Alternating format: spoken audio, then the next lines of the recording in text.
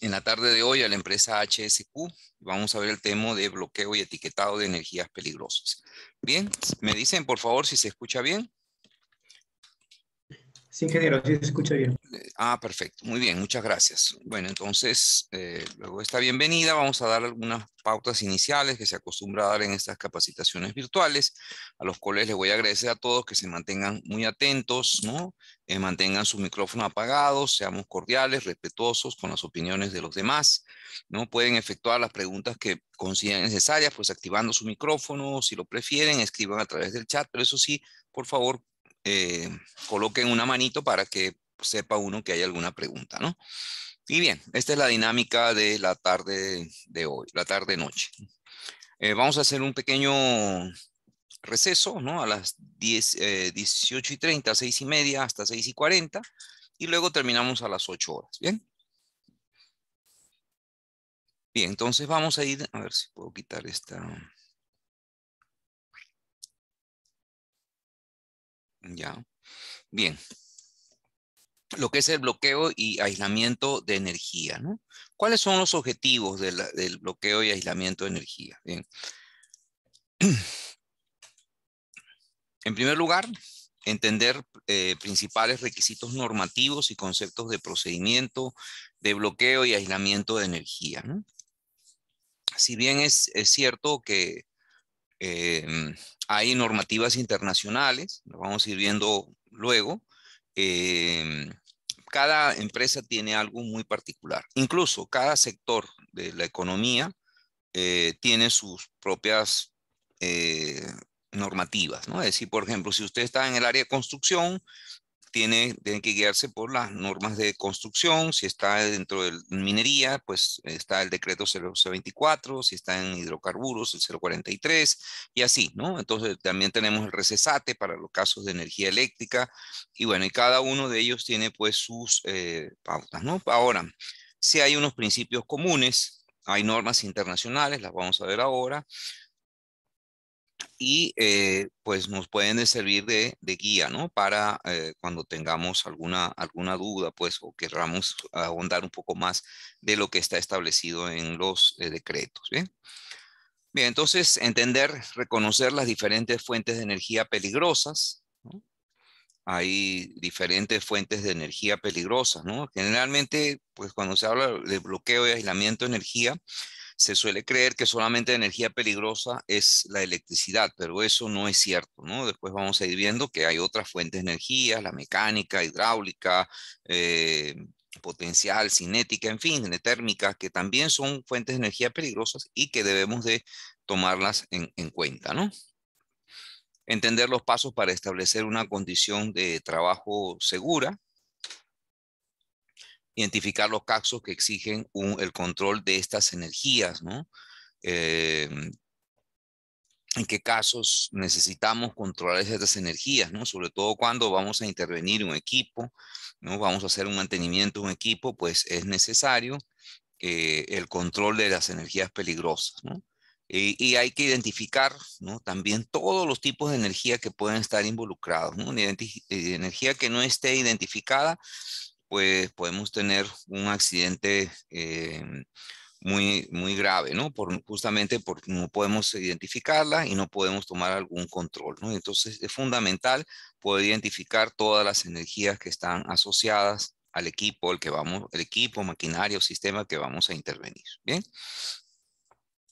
Bien, también entender el uso, aplicación de los dispositivos de bloqueo y la limitación, utilizar solamente etiquetados, ¿no?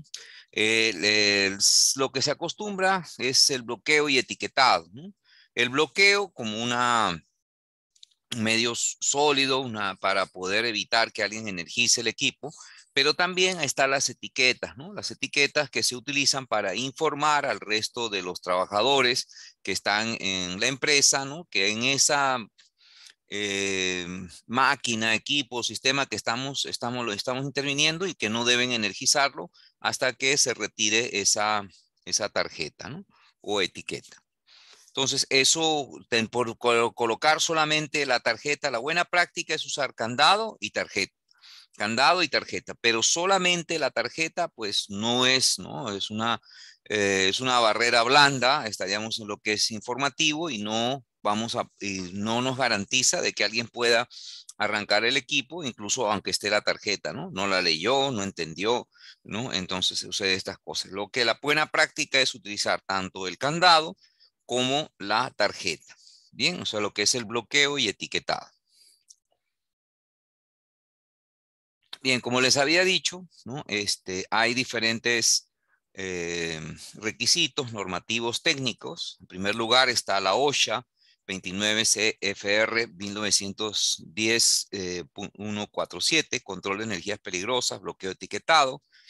También pueden tomar como referencia la ANSI Z244, estándar de bloqueo etiquetado y métodos alternativos. Está el decreto supremo número 024-2016, el reglamento de seguridad y salud ocupacional en minería, que tiene unos artículos que refieren a lo que es bloqueo y etiquetado.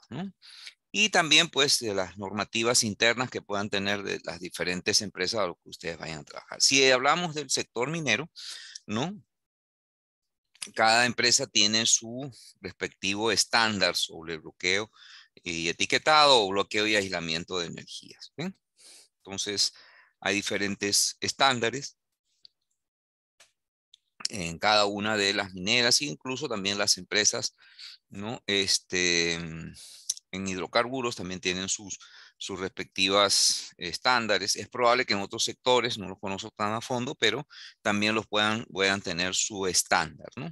A veces donde cuesta un poquito más, es sobre todo en la parte de construcción, que a veces sí, a veces hay empresas que no tienen definido su, su estándar sobre bloqueo y etiquetado, ¿no? Pero hay que hacerlo porque si no, muchas de las responsabilidades sobre lo que es el bloqueo de aislamiento este, quedan en el aire, ¿no? Entonces es importante que las responsabilidades en cada empresa estén definidas, ¿no?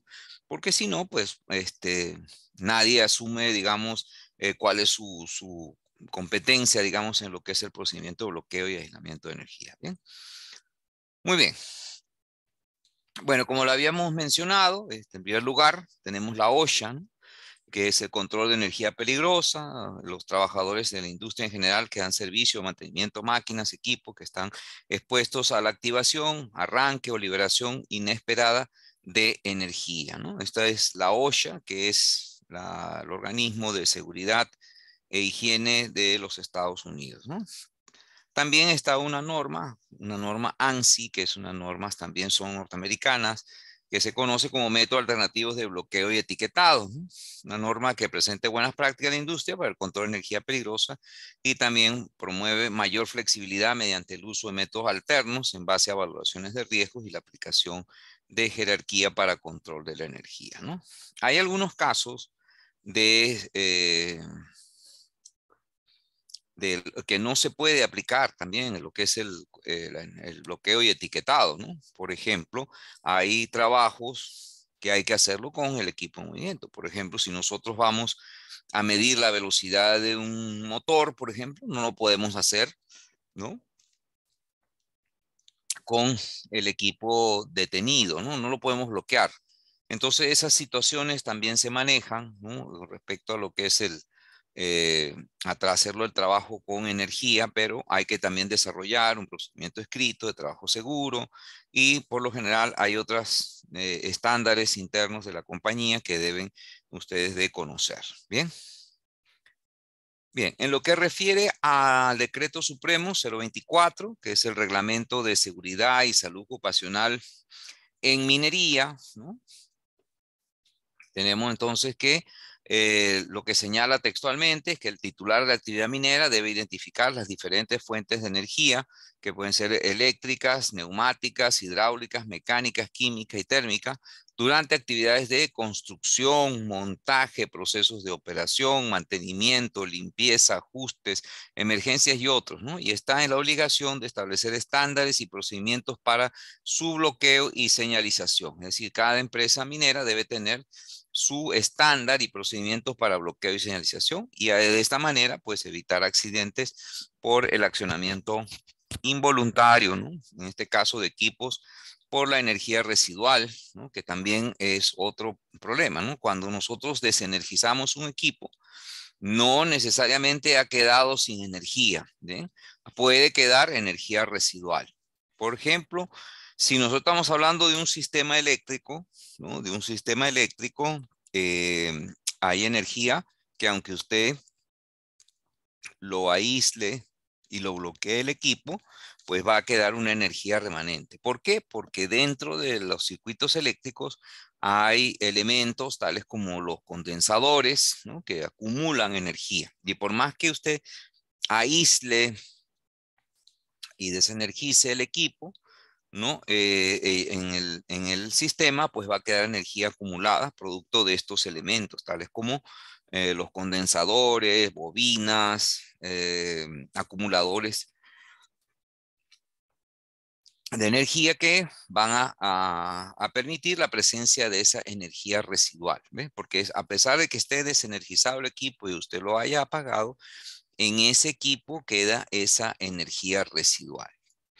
¿Es el único caso? No, también si nosotros tenemos sistemas eh, presurizados, por ejemplo, si estamos hablando de un sistema de aire comprimido o de cualquier otro tipo de gas, también puede haber energía residual. Y por eso es que se establece en, en la energía residual, por ejemplo, en el caso de fluidos gaseosos, que debemos de purgar purgar eh, la, tubería para este, evitar que haya esa energía residual, ¿no? Porque eso también nos puede eh, ocasionar accidentes si no se libera esa energía residual. Lo mismo en, fluidos líquidos, ¿no? También debemos de drenarlo.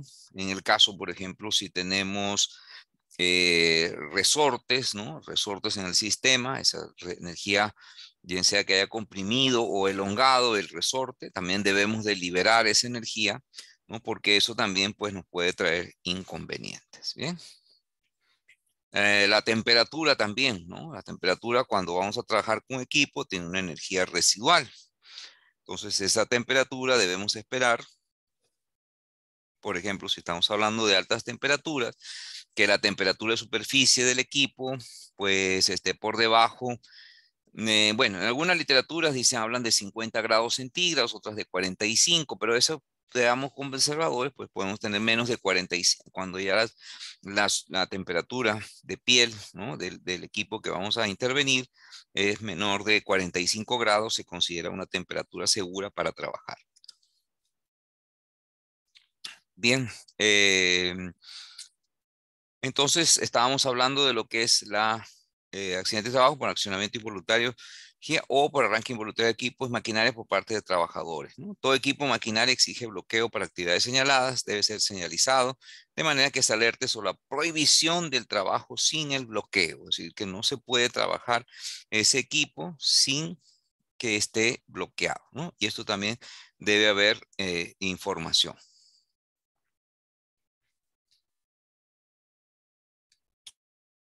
Bien. Seguimos.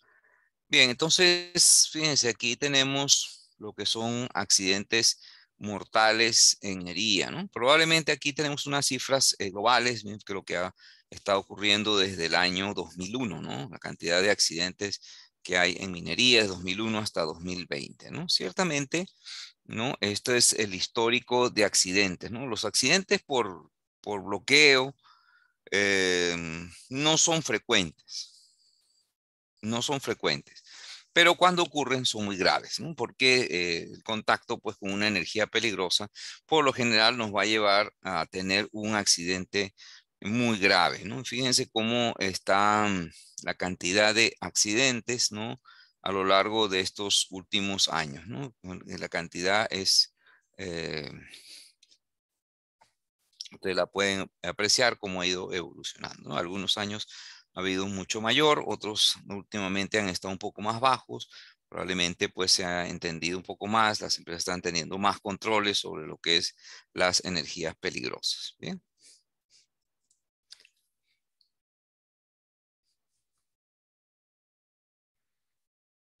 Bien, entonces vamos a ver aquí. Por ejemplo, aquí tenemos un señor que está haciendo un trabajo, ¿no? Cerca de un un motor y una, eh, probablemente acoplado con una, una bomba, ¿no? En un sistema de fluidos, con lo cual pues hay que saber cuándo, qué energías peligrosas podrían ustedes identificar, ¿no? Bien, permítame un momento, denme unos segundos y ya vuelvo con ustedes. Bien, unos, unos segundos, por favor.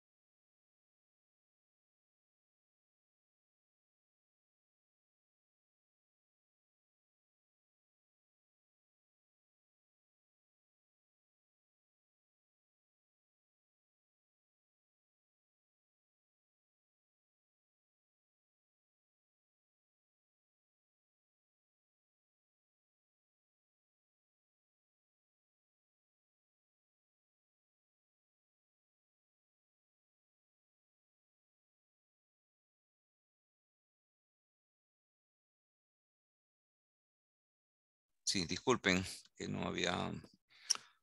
A ver... Em,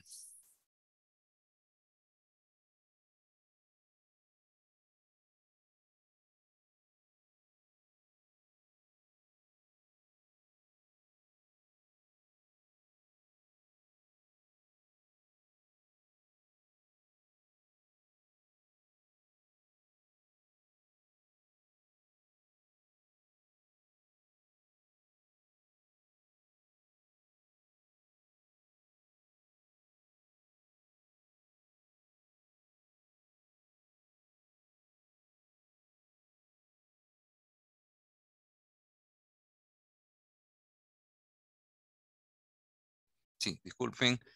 A ver, vamos a ver con lo que están, ¿no? Eh, el señor Alexander Reyes. ¿Está, no? Alexander Reyes.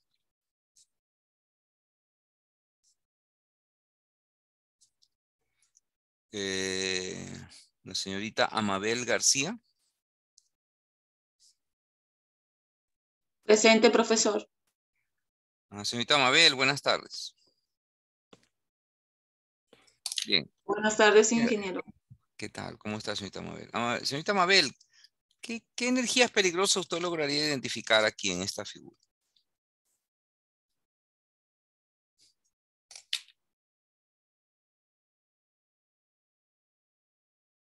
¿No? Está, eh, veo ahí en la imagen sobre que el señor está tocando eh, energía con los tubos que está metido y es algo grave ahí. ¿qué, energías usted identificaría? El tocamiento de los tubos. Ya, podría ser que haya energía, por ejemplo, eh, térmica, ¿no? Si el fluido está a cierta temperatura, ¿sí? Sí, ingeniero. Ajá, ¿qué más? ¿Algo más? Bien. Bueno, si no, la, no identifica algo más, tranquilo. Vamos a ver con otro de sus compañeros. Gracias, señorita Mabela. Muy amable. A ver, Edgar Llovera. Edgar Llovera. Presente, presente, ingeniero. Buenas tardes. ¿Qué tal, Edgar? ¿Qué tal? ¿Cómo estás? Buenas tardes. ¿Qué otra energía, aparte de la térmica que señaló Amabel, tú identificas que pueda haber ahí en ese, en este trabajo. ¿Alguna energía más?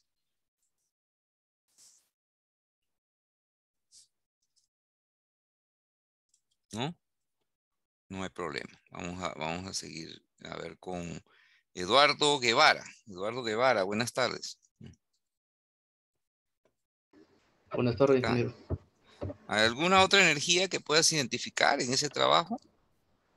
Bueno, si, no sé si lo podemos tomar, si por ahí puede haber una compresora que bota vapor Y como se sabe que cuando se trabaja en una compresora o un motor, tiene que hacer unos tiempos hasta que disminuye el vapor, ¿no? Porque si no va a estar caliente.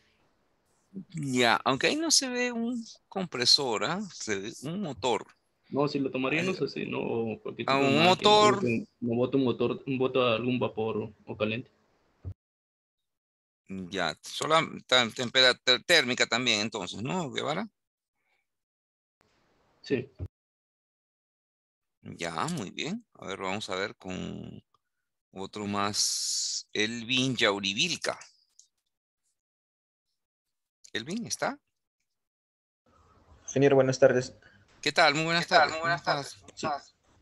A ver, eh, Elvin, la, energía, la vibración que bota el motor al, al accionar o al trabajo que está realizando? Mm. Ya, o sea, tú dices que sería, vibración. Vibración. una vibración. Ya, bueno, vamos a anotarlo, vamos a anotarlo para aquí. Bien, muy bien, gracias. Vamos con Franklin Liza. A ver, Franklin Liza. Franklin Liza, a ver, Liza, a ver. ¿Está, no?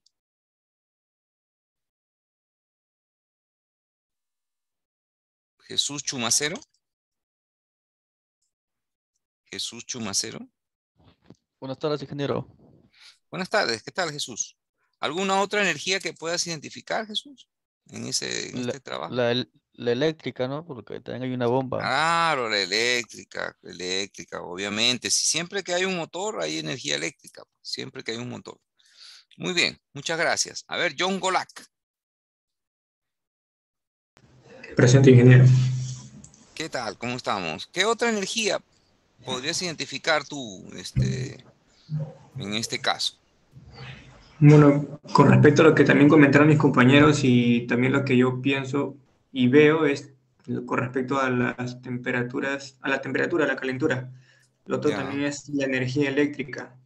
Y con respecto a este motor, eh, podría emitir lo que viene a ser un humo o también una calentura, porque se está exponiendo también el mismo operario o trabajador. Ya, entonces tenemos altas temperaturas y energía eléctrica, ¿no? Es lo que tú me estás señalando, John. Sí. Ya, muy bien. Vamos con José Gal. Muchas gracias. José Valdivieso. José Valdivieso. ¿Dónde está?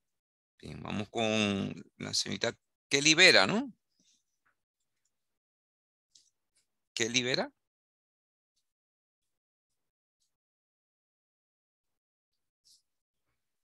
Kenya Trujillo. Kenya Trujillo. Buenas tardes, profesor. ¿Qué tal, señorita Kenya? ¿Qué eh, más? ¿Alguna otra energía? ¿Alguna otra energía? Sí, o sea, mecánica, ¿no? Es energía mecánica, ¿cómo no? Sí, también, ¿no? Pero tenemos el, motor tiene movimiento, hay una energía que se, que se transmite, ¿no? Eh, también, ¿no? De hecho que hay una, hay una guarda que está protegiendo justamente la conexión del, motor, ¿no? Muy bien, gracias, señorita Kenia, muy bien. Vamos con eh, María del Pilar Acuña. María del Pilar, ¿está? Sí, pero buenas tardes. Muy buenas tardes, señorita María. ¿Alguna otra energía que usted identifique en este trabajo? Pero, ¿me escucha?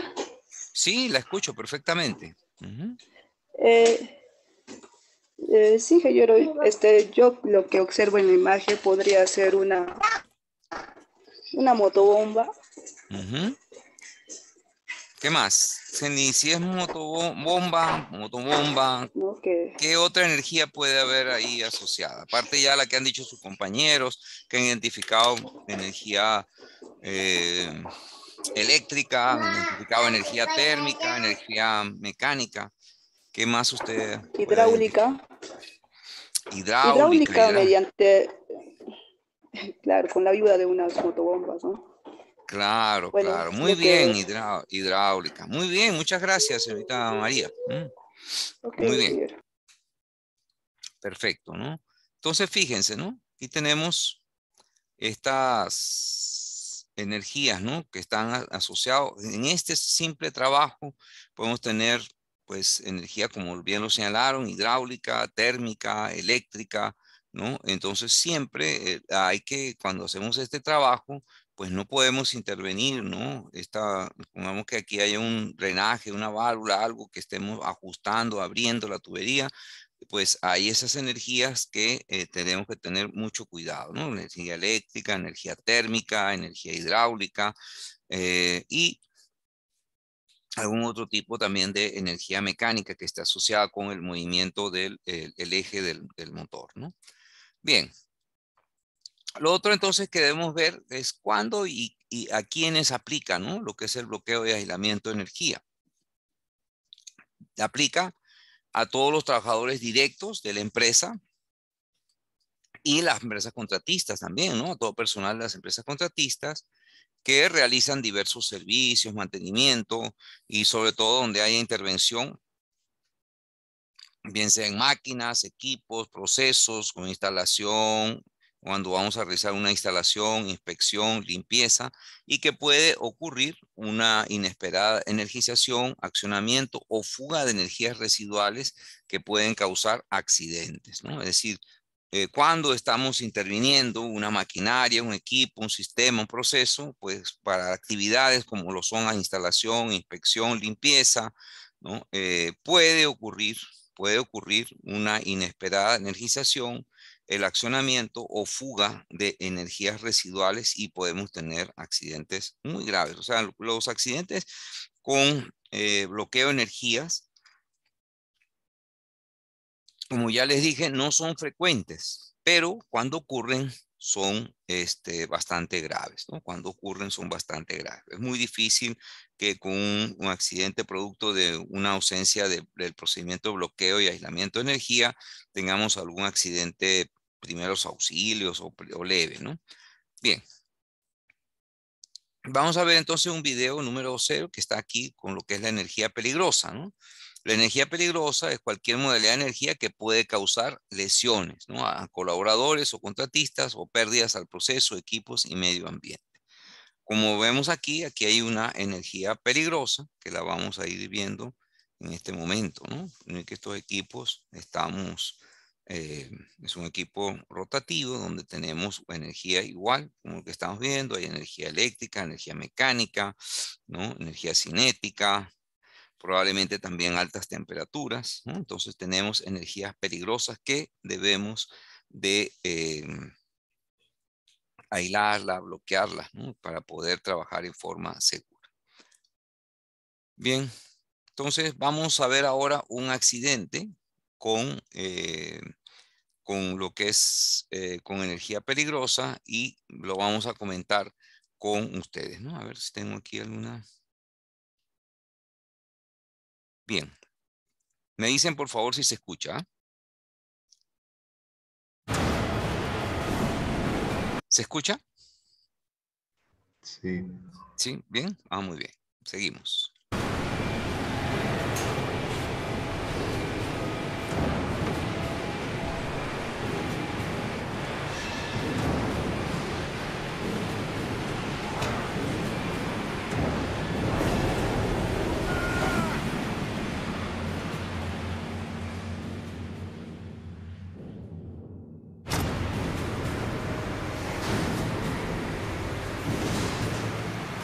Muy bien. Vamos a ver. ¿Hay algún comentario? Bien. A ver. Eh...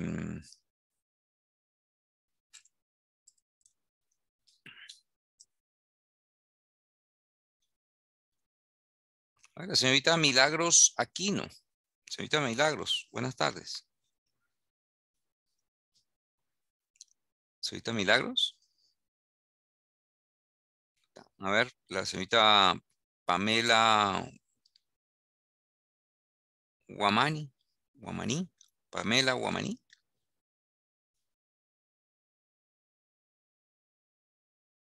Pamela Guamani. ¿Está no? La otra señorita Pamela Chota. Pamela Chota. Ingeniero, buenas tardes. Buenas tardes, señorita Pamela. Usted es Pamela Chota, ¿verdad? Pamela Chota, ¿verdad? Así es. Ajá. ¿Qué, qué, qué, usted determina que fue la causa del accidente que se vio en el accidente? Que se vio en el video, que se vio en el video. Inge, si pudiera repetir el video, lo que pasa es que no, no pude apreciarlo muy bien. Lo puse en pantalla grande el teléfono y... No lo vio muy bien. No. ¿Podemos repetirlo? A ver, vamos a pedirle a la audiencia a ver si, ¿Están de acuerdo? ¿Están de acuerdo? Sí, sí, ingeniero. Ya, bueno, muy bien, vamos a repetirlo entonces. Sí, ingeniero, sí. Bueno, por favor, presten atención esta vez. ¿ah? Les voy a preguntar luego sobre este video. A ver.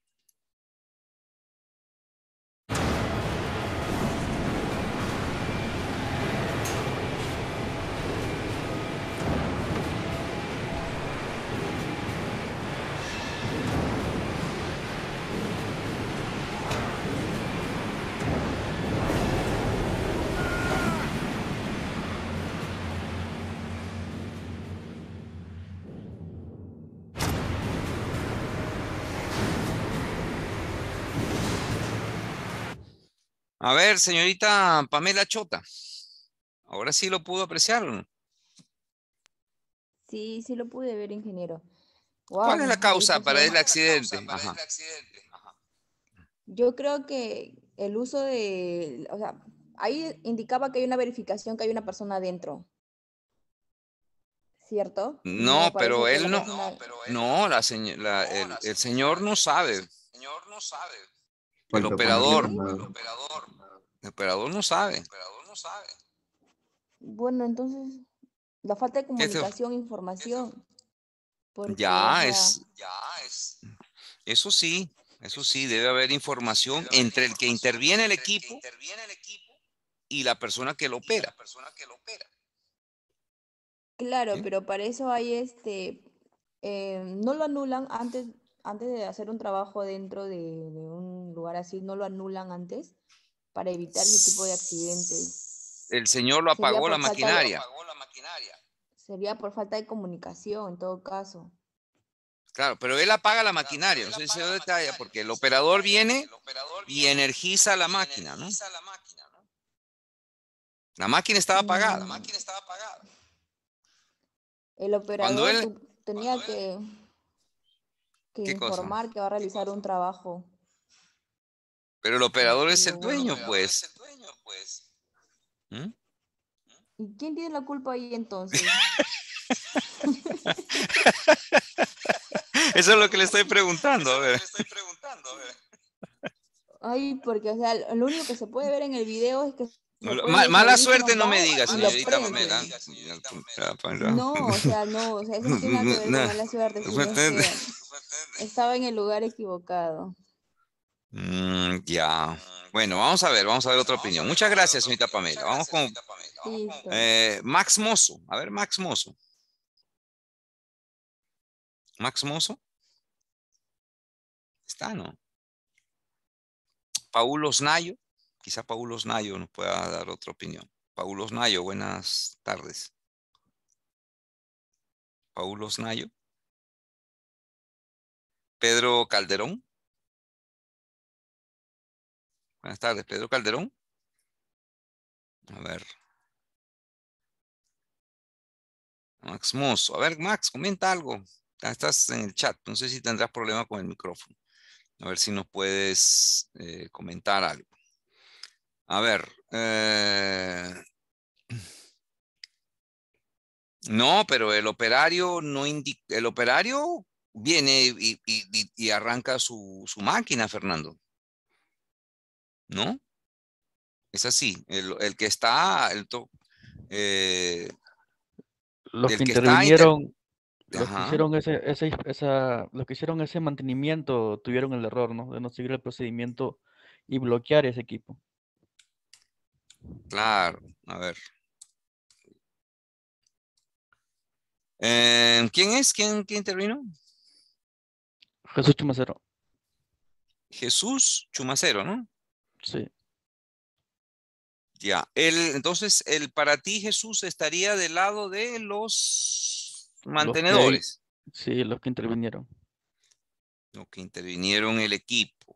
Muy bien, por ahí creo que la señorita Pamela fue que dijo que faltó comunicación. A ver, vamos a ver si hay otra opinión más. A ver, o Paul Osnayo. ¿Está, no?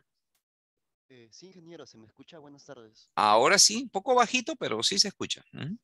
Eh, sí, ingeniero, este, yo también pensaba este, la misma parte del que está haciendo el mantenimiento, ¿no? Eh, él tendría que haberse un, un procedimiento adecuado para que se asegure que la máquina no, no va a funcionar, ¿no? O que, que se le quite la energía por completo. Que haya tipo un control o un filtro, algo así, para que el operario no pueda activarlo sin darse cuenta que, que está, están haciéndole mantenimiento a esa maquinaria.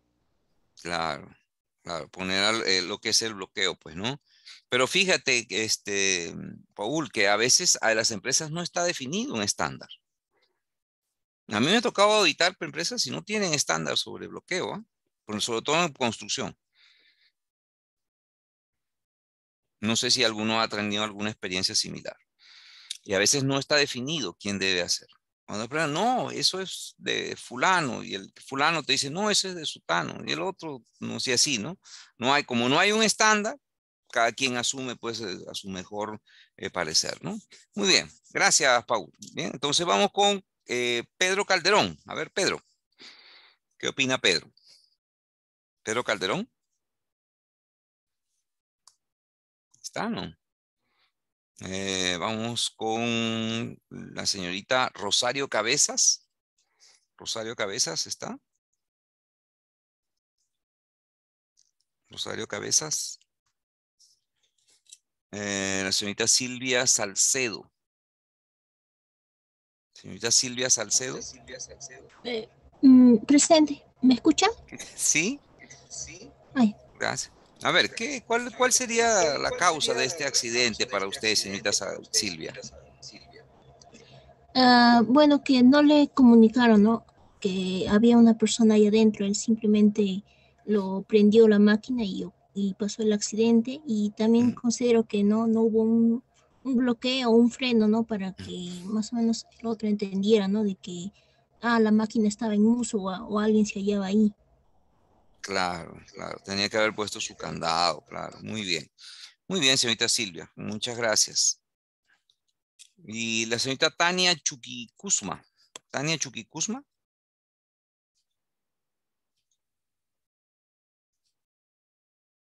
Señorita Tania Chuquicusma, ¿está? Bien, ¿alguien más? ¿Algún voluntario que quiera comentar? ¿Algún voluntario? Eh, profesor, yo, Edgar Llovera. A ver, eh, Edgar, Edgar Llovera, a ver, comentan por favor, Edgar. sí. Eh, al parecer, el operario ha estado quizás un poco distraído y no se, dio, no se percató que la máquina estaba en mantenimiento. por ende, la parte de mantenimiento también tiene un poco de responsabilidad porque debió de, poner alguna señal de bloqueo, alguna cinta, algún letrero que indique pues que la máquina estaba parada por mantenimiento, ¿no? Y pues este, el operario también por otra parte, pues confiado, eh, le dio arranque sin pensar que estaba siendo revisada por personal. Eso es lo que muy bien. Faltó de ambos, de ambos lados, dices tú, ¿no? Hubo errores de lado y lado, del mantenedor y del operario. Es lo que entiendo. Claro, correcto. Muy bien, muy bien. Es correcto. Muchas gracias, Edgar. Ah, muy amable. Eh, es correcto. Ingeniero, yo, eh, a ver, a ver, señorita Mabel, como no, por supuesto, encantado de escucharla, más bien, adelante. Ingeniero, también ah, como comenta mi compañero acerca sobre la distracción del operario y además ellos más que todo con el personal de mantenimiento eh, debieron tener una comunicación y además verificar si hay personal dentro de la máquina, porque no pueden acceder a, tomar decisiones en la cual no pueden, eh, pueden perjudicar, como hemos visto en el video sobre la muerte del señor, porque ya ha pasado, yo he trabajado en, empresas de, de, mango y si ha sucedido mil cosas, hemos visto, pero antes de eso se, hay, tiene que haber una supervisión y la comunicación más que todo es, es el ende para tomar las decisiones y, y no estar distraído más que todo el personal. Por eso ahí se dice, ahí como dice el tema, que se tiene que haber eh, un bloqueo o, eh, más que todo la señalización, como dice mi compañero, en la cual para que puedan tomar las decisiones correctas. Ya, muchas gracias, señorita Mabel. Sí, correcto. El bloqueo etiquetado es por eso, ¿no? Es bloquear para impedir de que alguien pueda accionar la maquinaria y también una información que es la tarjeta, ¿no? Ambas cosas, informa y bloqueas, ¿no? Eh, ahora, esa es la, la buena práctica. Pero quiero hacer destacar, y una vez que a veces hay empresas, como usted quizá bien lo señala, que en algunas fases o quizás en un momento no han tenido un procedimiento establecido, a veces un estándar. De, a mí me ha tocado, como les dije, hacer inspecciones y auditar y a veces las empresas no tienen un procedimiento de, bloqueo de aislamiento de energía. Y en este caso ha fallado las dos cosas, eh, principalmente desde el punto de vista de el eh, mantenedor no haber colocado su candado y su tarjeta, ¿no? Debería haber colocado su candado y su tarjeta, ¿para qué? Para asegurarse de que nadie pudiera energizar el equipo en el cual él está trabajando. Bien. Por el otro lado, también desde parte del operario, pues debió haber revisado en la maquinaria que nadie esté expuesto cuando él va a arrancar la maquinaria, ¿no? Y también, obviamente, debe haber información tanto en el mantenedor como en el operario que ese trabajo se iba a realizar, ¿no? Para tomar, pues, las precauciones correspondientes. ¿no? A otra cosa que también faltaría es eh, sobre todo lo que he señalado, pues porque aparentemente hay un señor que funge como un supervisor, ¿no? Pero no, tampoco no está, no se ve ningún involucramiento, algo que pudiera ayudar, digamos, a realizar el trabajo con seguridad, ¿bien? Entonces, eso es importante, debemos estar claros. Faltó lo que es el bloqueo etiquetado por parte del mantenedor, también faltó la información ¿no? del mantenedor y el, y el, operario, y del operario, pues hacer, hacer, Sí, dígame. Ahí entonces la culpa recaería directamente con el supervisor del mantenimiento. Claro, también, ¿no? Hay responsabilidad, hay responsabilidad obviamente, sí. Hay obviamente de ser, eh, y, y, también, y también ya en lo que son empresas más grandes, como por ejemplo el caso minera, siempre ese equipo va a estar asociado a un equipo de procesos, ¿no? Y que también hay un supervisor de área que también debe de estar enterado de todo lo que se está realizando en su, en su área, ¿no? Entonces, ahí, ahí hay falta de información. Por parte de lo que es el supervisor quizá del mantenimiento y el supervisor también de operaciones. Entonces, ahí debe haber mucha, mucha comunicación. Mucha comunicación es muy importante y eh, tener claro pues los procedimientos de lo que es bloqueo etiquetado. ¿no? Incluye también eh, tener los adecuados equipos. ¿no? A veces también sucede que de repente quiere bloquear, no tengo candado, o el candado está roto. También es otro aspecto que debemos tomar en cuenta. Un candado que no cierra es como si no lo, no lo colocaran. No, que está, pero eh, ahí de advertencia. Una tarjeta que no se lea. ¿Cuántos casos hay a veces de tarjetas que el, el, trabajador, el colaborador se llevó su tarjeta a la casa, lo lavó con la ropa y todo, y lo que queda es una mancha ahí, ¿no? Una, una mancha de mil colores en, en, en lo que es la tarjeta. Ya eso no se puede leer para que, si, si, la tarjeta su objetivo es informar, eh, si usted la lava, ¿no? Ya bueno, tienen que ver cómo cambiar esa tarjeta, ¿no? Ya esa tarjeta no, no sirve, ¿no? Y a veces se utiliza, ¿no? Dice, no, la que la lava, le, eh, fue una pequeña lavada, en fin, ¿no? Entonces, no, no, no. Tiene que, el objetivo es, el candado debe cerrar. Y la, y la, la tarjeta debe informar. Si ya no se lee, pues hay que reemplazar. Si el candado no cierra, también hay que, hay que, hay que reemplazarlo. ¿no? Aparte que también hay que tener dispositivos, probablemente Probable, hay casos como interruptores que sí tienen su espacio para colocar el candado, pero en otros casos, por ejemplo, a veces hay una llave termomagnética y esa llave termomagnética debemos tener un accesorio para poder colocarle el candado. Entonces también no solamente es tener el candado o la tarjeta, cuando llego, oye, ahí está el termomagnético, pero el candado no puedo colocarlo en, esa llave termomagnética. Entonces también faltó el dispositivo para yo poderlo colocar. O de repente también son varios los que van a intervenir al equipo. Entonces también tenemos que tener el candado de cada una de las personas que va a intervenir el equipo. En este caso es una sola persona, pero también hay casos, por ejemplo, si ustedes tienen una parada de planta en que ya no es una sola persona la que va a intervenir, sino probablemente sean muchas, ¿no? Entonces también se debe prever tener pues eh, los dispositivos, los accesorios de bloqueo y etiquetado de tal manera que todos puedan colocar su candado. Bien, ¿estamos claros? ¿Estamos claros hasta aquí? Bien, vamos a seguir. Bien. Eh, aquí tenemos entonces lo que son los tipos de energía peligrosa. ¿no? Una de las más comunes, la más frecuente quizás que ustedes van a interactuar es con la energía eléctrica. Eh, la forma de energía resulta existencia de una diferencia potencial entre dos puntos, ¿no? Y obtenemos de esa manera la corriente eléctrica. Y ojo con la corriente eléctrica porque la corriente eléctrica, pues también, ¿no? Eh, debemos de tener en cuenta que hay energía residual. En energía eléctrica puede haber energía residual, ¿no? Eh, una persona yo ah, bueno, está desenergizado y, con, tocó el equipo y se murió. ¿Por qué? ¿Por qué? Porque hay equipos que almacenan energía. O sea, hay elementos dentro de los circuitos eléctricos que almacenan energía. Uno el más típico es el condensador. Un condensador en los sistemas eléctricos se utiliza más que todo para estabilizar, estabilizar el nivel de tensión, ¿no? Para que no hayan fluctuaciones. Se utilizan mucho los condensadores, ¿no? Entonces, eh, pero esos condensadores que dan esa, esa facilidad a los sistemas eléctricos, por otro lado, usted lo desconecta y él queda cargado con energía.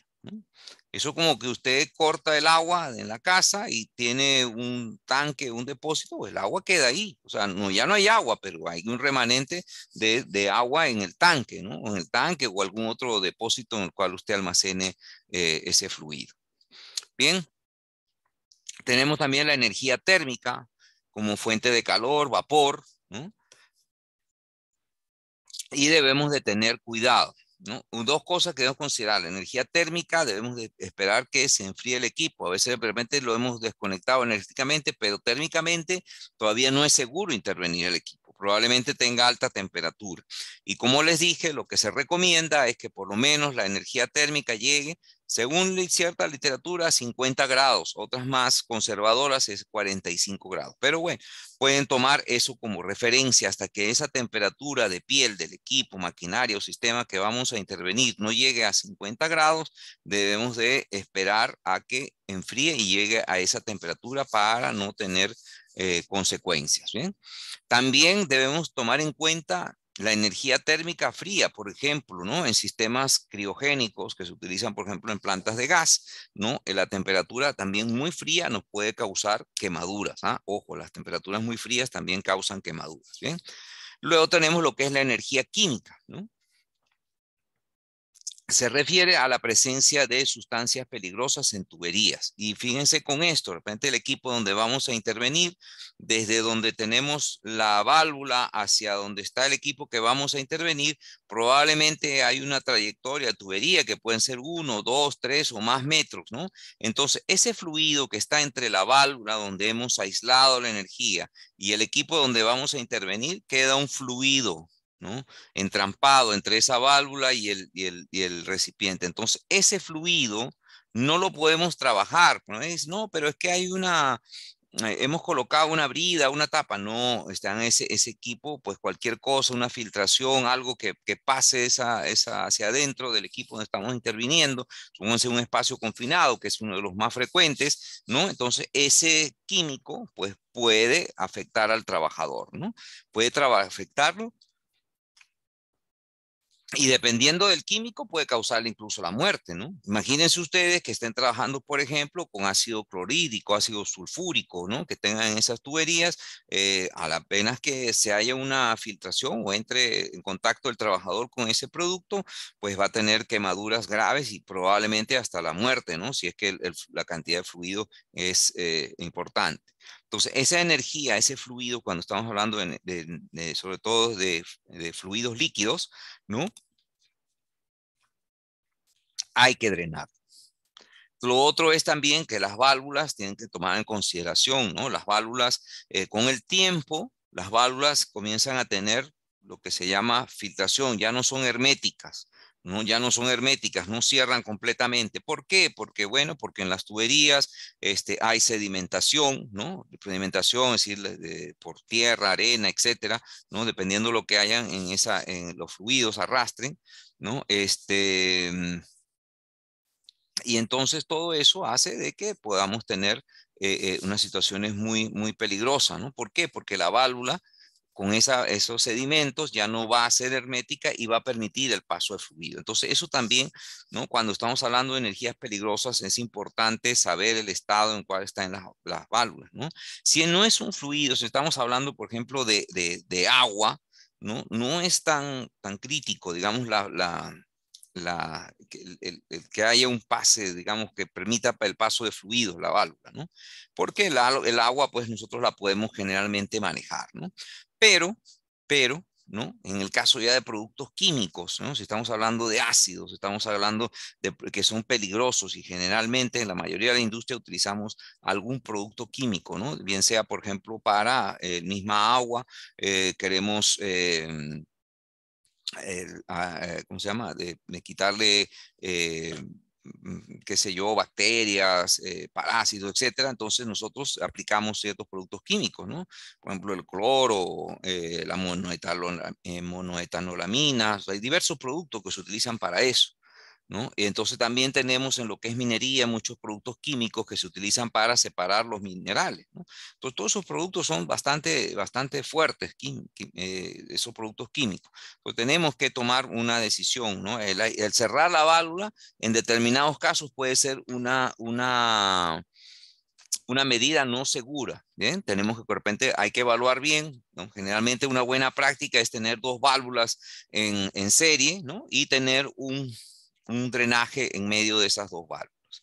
En otros casos, si es un fluido muy peligroso, también debemos colocar lo que es una brida ciega, ¿no? Es decir, descontinuamos y ponemos una brida ciega, es decir, que ya no pueda pasar el fluido de un lado a otro. Hay diferentes técnicas, hay que evaluar el tipo de químico que estamos trabajando. Cuando es muy peligroso hay que tomar medidas. La, simple cierre de una válvula puede ser no seguro. ¿ah?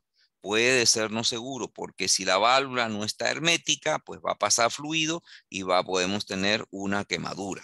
Con el tiempo, las válvulas pierden esa hermeticidad y eso hay que estar claros con ustedes que están no sé si la mayoría está en la de seguridad, también deben estar pendientes con esa situación, porque las válvulas, sobre todo las que son de compuerta, con el tiempo eh, ya no son herméticas. Otras cosas que también podría ocurrir, ¿no? que la válvula no está de repente con el, eh, volante hacia la parte de arriba, ¿no? sino que se la tienen eh, de costado hacia un lado o la tienen, como decir, em, hacia abajo, el volante está hacia abajo, hay válvulas que están colocadas así.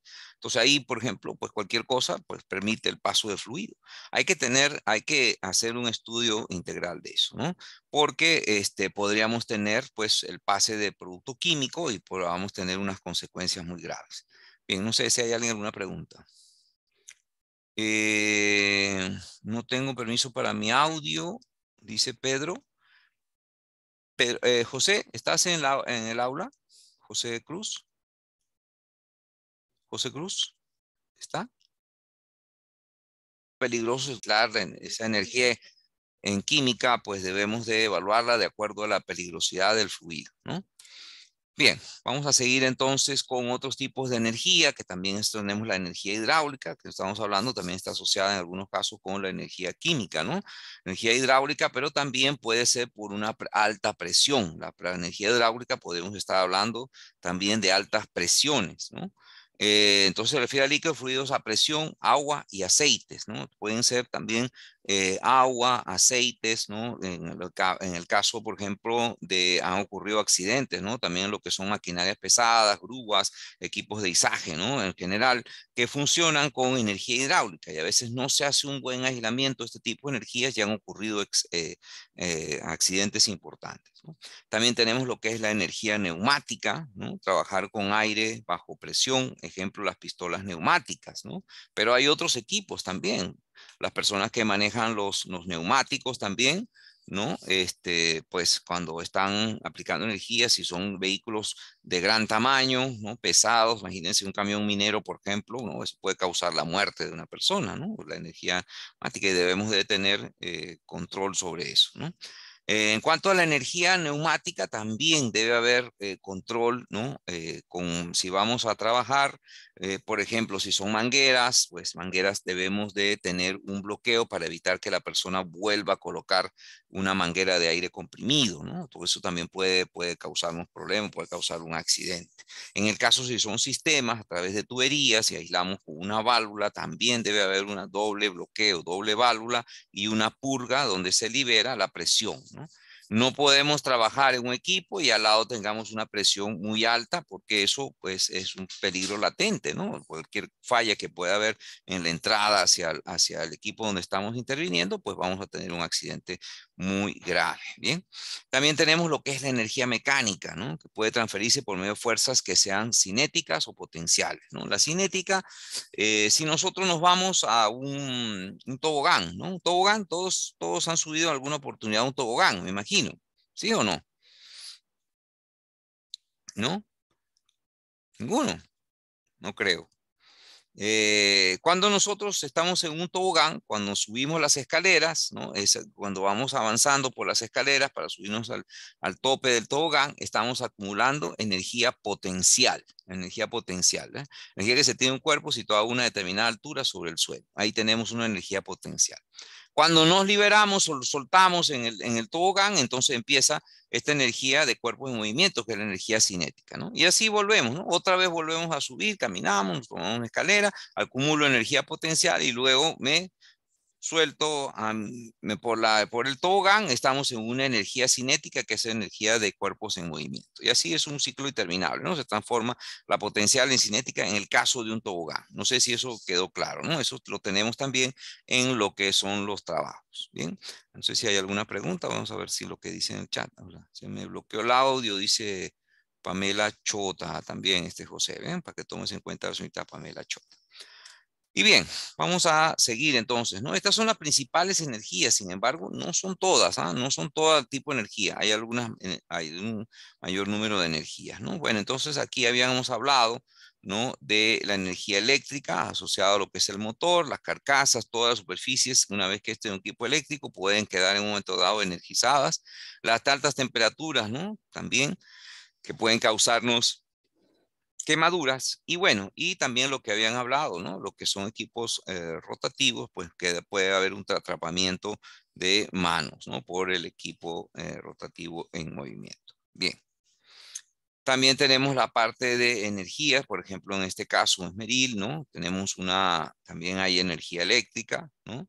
Eh, puede quedar atrapamiento y también hay altas temperaturas, sobre todo en el disco del esmeril, ¿bien? Bien, ¿Cómo estamos entonces? ¿Todo bien? Sí, ingeniero. Todo bien, bien. Entonces, ¿cómo estamos? ¿Podemos hacer una dinámica entonces o no? Sí, sí. Ya, a ver, vamos a ver.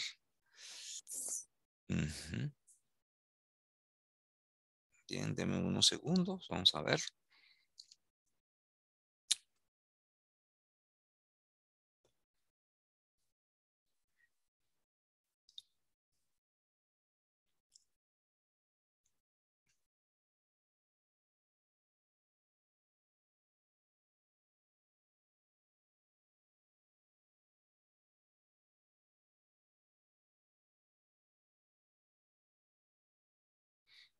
A ver. Comienza aquí alguien. Ah, saben, pueden ingresar. Ah, muy bien. Bueno, las recomendaciones para los que no puedan activar su micrófono. Muy bien. Entonces vamos a compartir, ¿no?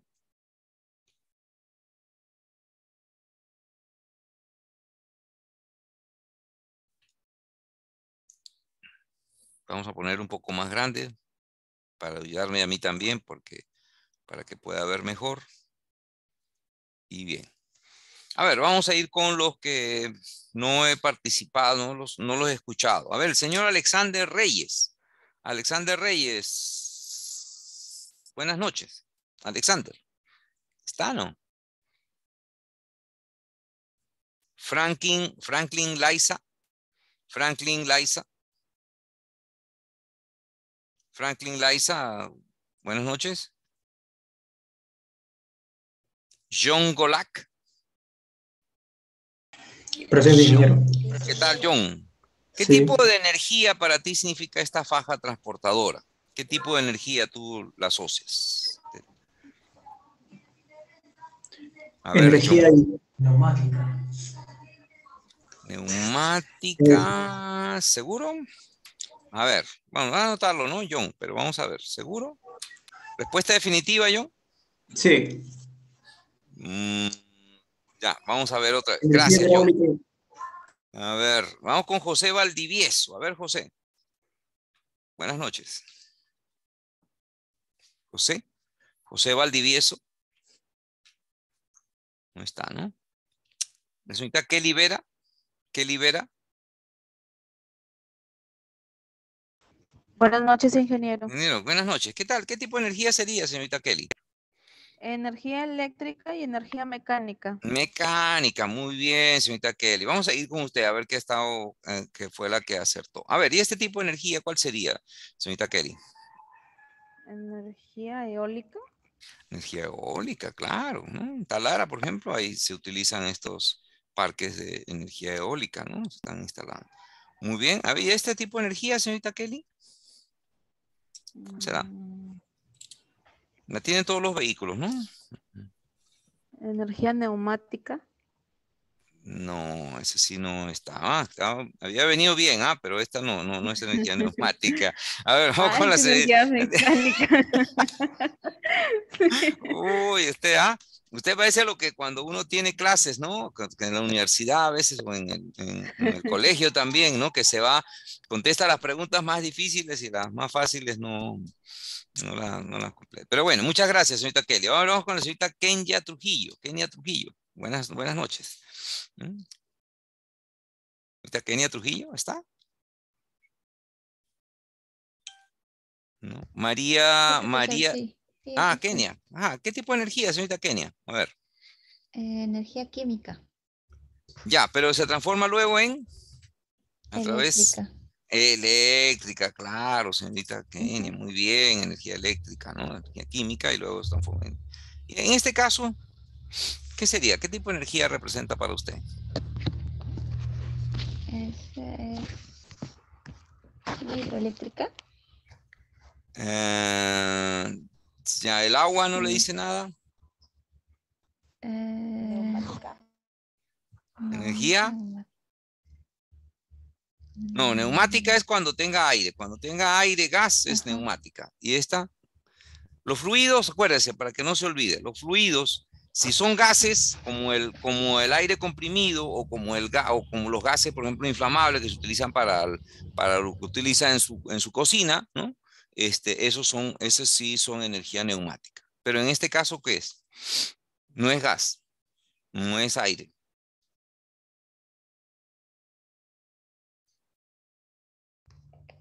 Hidráulica. Hidráulica, claro, no lo diga con temor, es hidráulica, muy bien. Sin temor, señorita. Energía hidráulica, muy bien. A ver esta. ¿Te acuerdas que hablamos del tobogán? ¿Qué energía será aquí?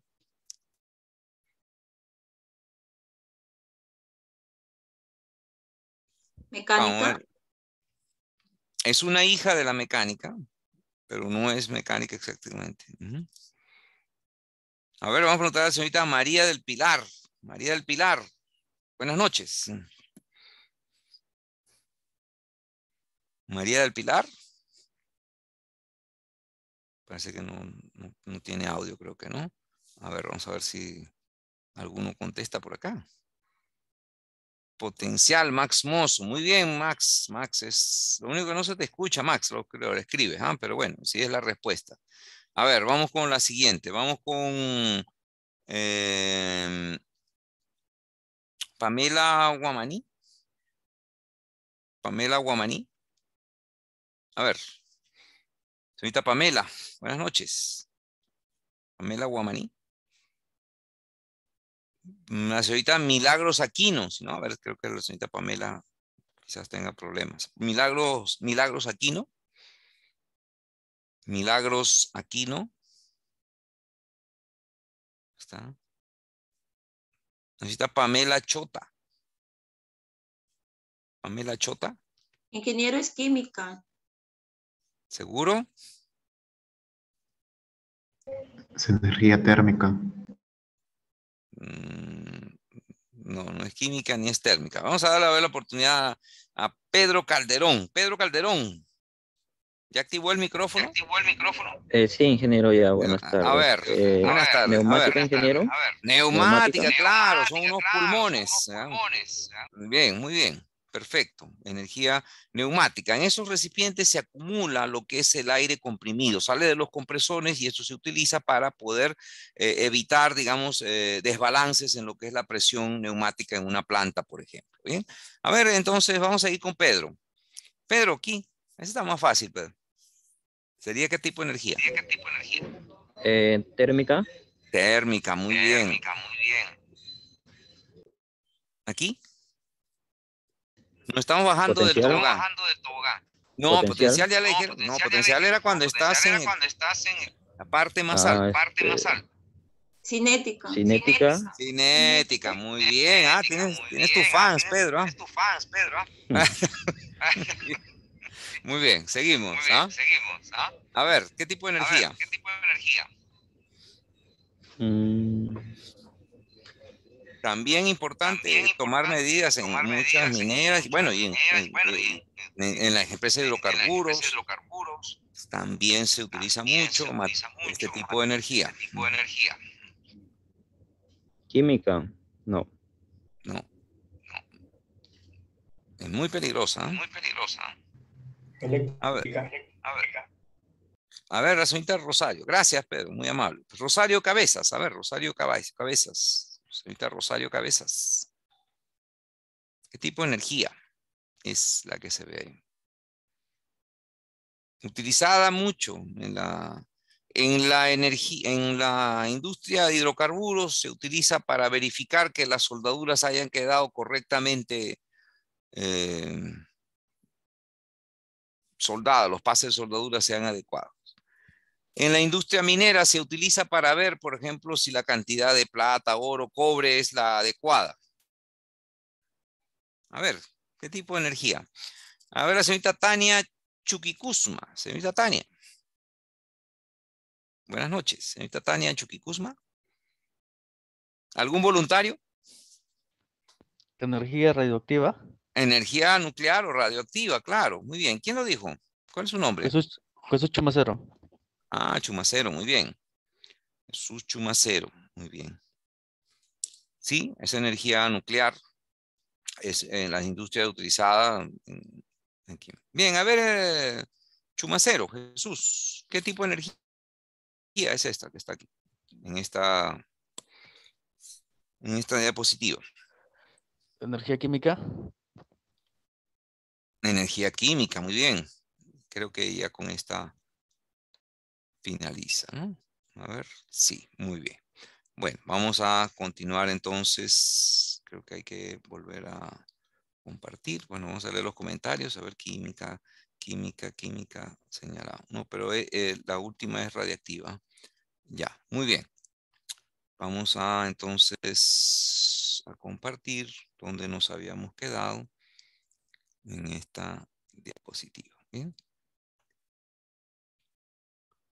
Bien, entonces vamos con lo que son las energías residuales, ¿no? Es otro punto de las energías residuales que también es importante.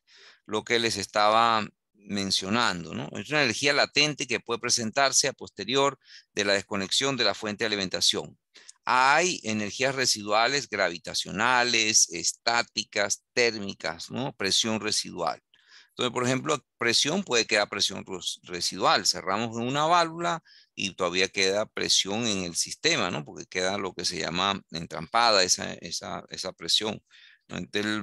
¿cómo sabemos que podemos liberar esa presión, que está presurizado? Bueno, a través de generalmente de manómetros y debemos de tener un, una purga que se llama, ¿no? Para liberar esa energía residual.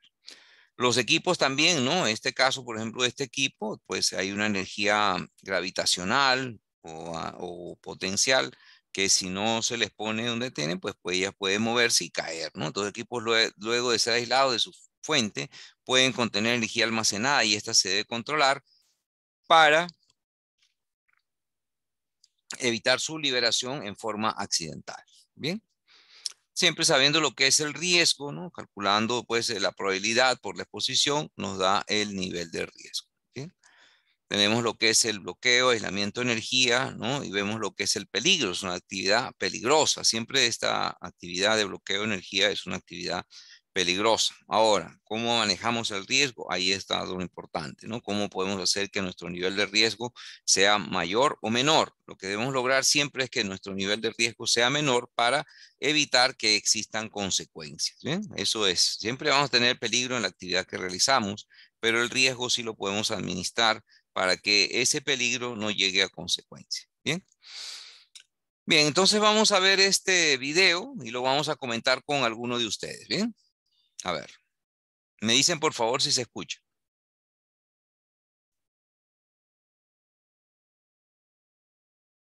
¿Se escucha? No, se escucha. A ver, vamos a parar. Vamos a volverlo entonces.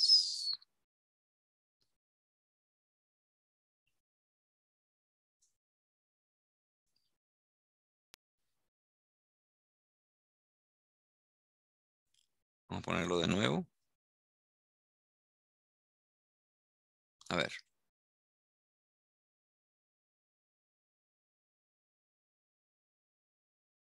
No se escucha, ¿no? No se escucha. Mm, a ver, a ver. Este video, vamos a, vamos a tratar de, de ponerlo. Tienen unos momentos, vamos a ver qué pasó.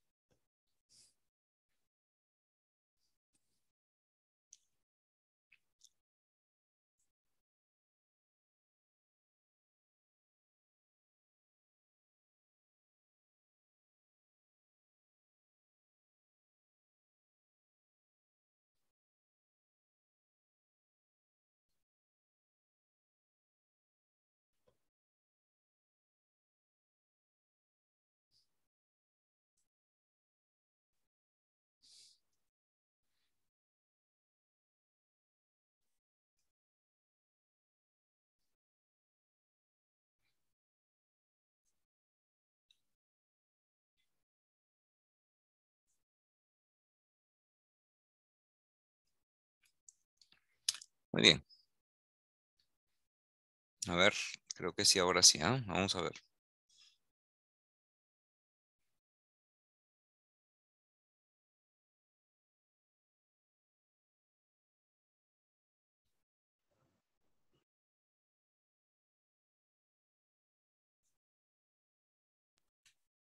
Bien, espero que ahora sí se escuche.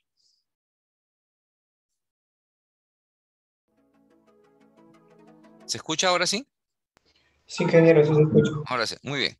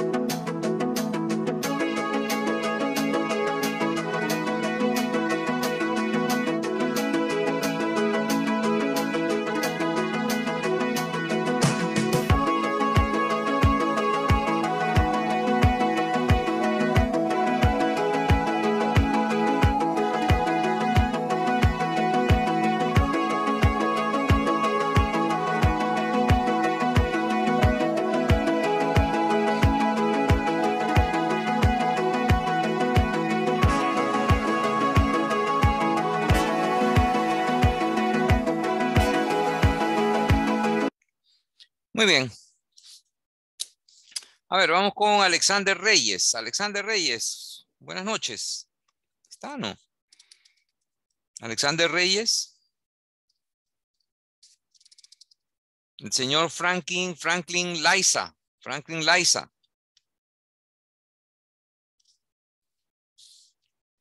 Franklin Liza, José Valdivieso. José Valdivieso. María del Pilar Acuña. Pamela Guamaní. Ingeniero, buenas noches. Buenas noches, señorita Pamela, qué gusto escucharla. A ver, ¿cuál sería la causa de este accidente? Eh, por parte del que estaba con gorra, este, creo yo que no debió este, meter su mano porque creo que fue imprudencia, ¿no? Mm, no hubo falta de comunicación también. No hay un procedimiento, no hay un orden de trabajo. Ya. ¿Hay una energía peligrosa aquí de por medio o no? ¿Qué dice usted? Sí. Eh, la eh, mecánica eléctrica. Claro, mecánica eléctrica. Muy bien, muy bien, muy bien, muy bien, señorita Pamela. Bien, a ver, muchas gracias. Eh, Milagros Aquino. Señorita Milagros Aquino.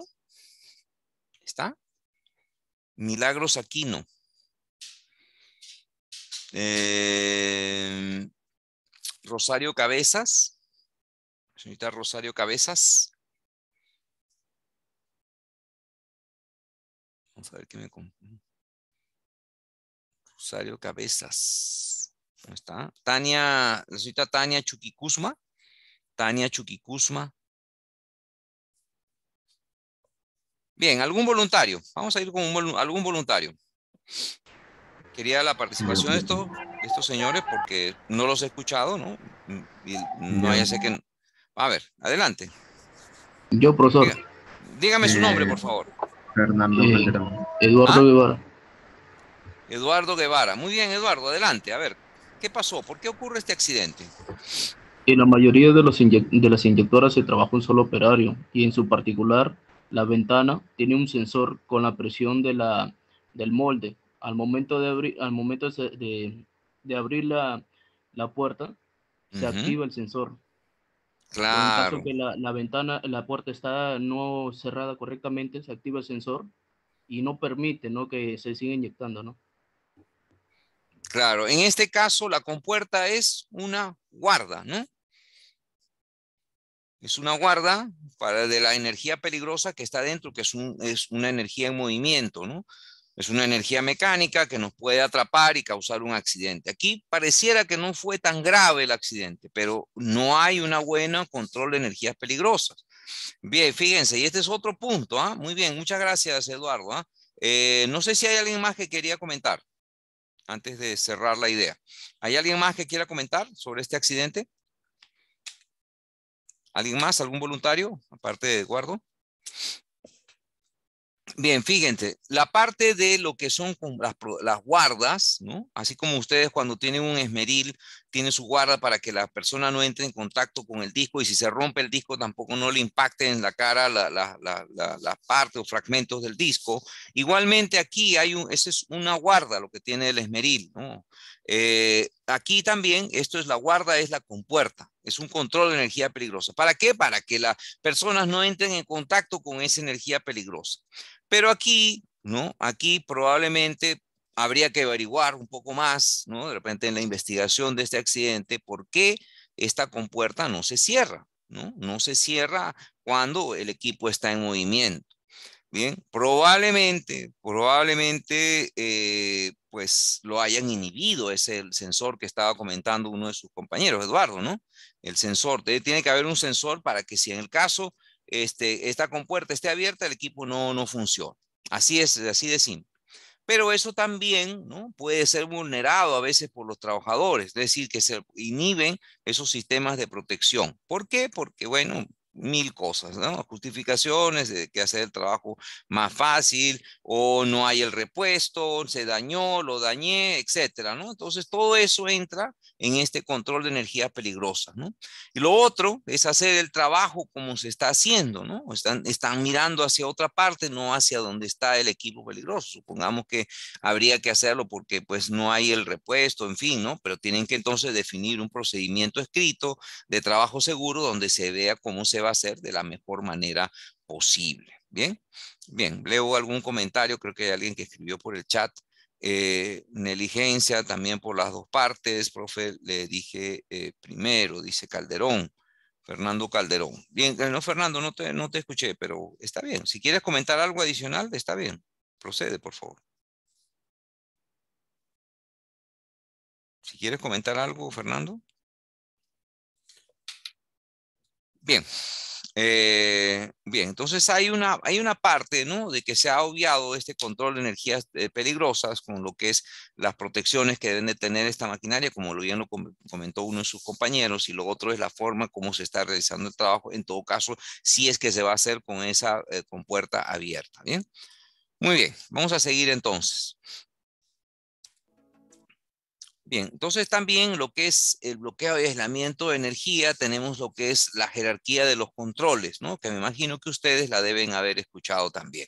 Lo que es, en primer lugar, lo que es la jerarquía de los controles está la eliminación, ¿no? Como se ve aquí en el ejemplo, pues si hay el león, pues mejor no tenerlo, ¿no? Porque es la eliminación del peligro, ¿no? Eliminar el león o no tener al león no sustitución del, del, peligro, ¿no? La jerarquía de los controles. Bueno, en vez de un león voy a tener un ratón, ¿no? Entonces el ratón, pues de repente va a ser antihigiénico, pero este, no me va a atacar como es el caso de un, de un león, ¿no? Luego tenemos lo que son controles de ingeniería, ¿no? Control de ingeniería, ¿no? Realmente es una barrera, una defensa, y ahorita con esta barrera, pues el, el león no me puede alcanzar, por más que esté eh, muy molesto, en fin, ¿no? Este, no puede alcanzar. Y lo otro, finalmente, son los controles administrativos y los EPPs, ¿no? El león le ponemos una, una señalización, esperando que la respete, no se salga de, ese, de este rectángulo. Y lo otro es que el, el, trabajador pues tiene su equipo de protección personal, un escudo, una careta, una espada, ¿no? Para defenderse del león. Bien, estas que están acá son las eh, barreras, digamos, Mm, blandas, no son barreras blandas. ¿Por qué? Porque la probabilidad de que el león respete este rectángulo es como la probabilidad, ¿no? Incluso más baja que la persona respete, por ejemplo, que detenerse eh, con el semáforo en rojo, ¿no? Eh, y los equipos de son personal, que también, pues, ¿no? Vamos a tener ataques, pero la persona tiene que saber manejar la espada, eh, el, escudo también, ¿no? Y si además de repente el, el el escudo de repente es de procedencia dudosa, lo compraron eh, no muy de una procedencia dudosa, de repente de un mordisco el, león lo destruye. Entonces aquí estas son las barreras más blandas, ¿no? De aquí, de control de ingeniería para arriba, se consideran lo que son barreras duras. También debemos aplicarlas. Eh, si ustedes eh, han escuchado, y quizá vamos a verlo más adelante cuando veamos lo del bow en el bow se, utiliza mucho esto del estudio de las barreras, eh, en estas barreras lo que hay un señor que se llama James Reason, que es el que hizo el modelo del queso suizo, donde señala de que realmente para eh, cuando tenemos que hacer un estudio de barreras, es decir, para reducir el nivel del riesgo, no debemos depender únicamente de estas barreras blandas, lo que son control administrativo y EPP, sino que siempre debemos tener una barrera dura, ¿no? es decir, eliminación, sustitución y controles. ¿Por qué? Porque los controles administrativos y los EPP son unas barreras blandas que dependen muchísimo del factor humano y que por lo tanto están cualquier error que cometan o cometamos como humanos, pues estas barreras van a quedar eh, inhabilitadas, ¿no? No, no, nos van a poder proteger. Como lo señalamos acá, creo que es bastante evidente en esta figura, el león y los EPPs. Bien. Muy bien, entonces seguimos. Ingeniero, disculpe. Dígame, dígame, señorita. A ver. Dígame, señorita. Eh, ¿Usted cree que podría, podría hacer un ejemplo con la vida real? ¿Con la vida real? Sí, ¿Qué tema quiere hablar? A ver. Acerca de la, eliminación y la sustitución, más que nada porque veo que no lo aplican mucho. Así que me interesaría saber si es que si es que se puede, ¿no? Sí, claro. Por ejemplo, ¿qué tema le gusta? ¿Por estaría bien un trabajo en altura, por ejemplo? Sí, claro, por favor. Ya, ajá. Si usted tiene un trabajo en altura, supongamos que de repente usted está eh, instalando una tubería, ¿bien? Las tuberías generalmente a veces hay que tener una configuración, soldar tubos. Ese trabajo de soldadura usted lo puede hacer probablemente a nivel de piso y probablemente también, si usted quiere hacerlo, lo puede hacer en trabajo en altura. Bien, si yo lo hago a nivel de piso, ¿no? ¿Qué pasaría?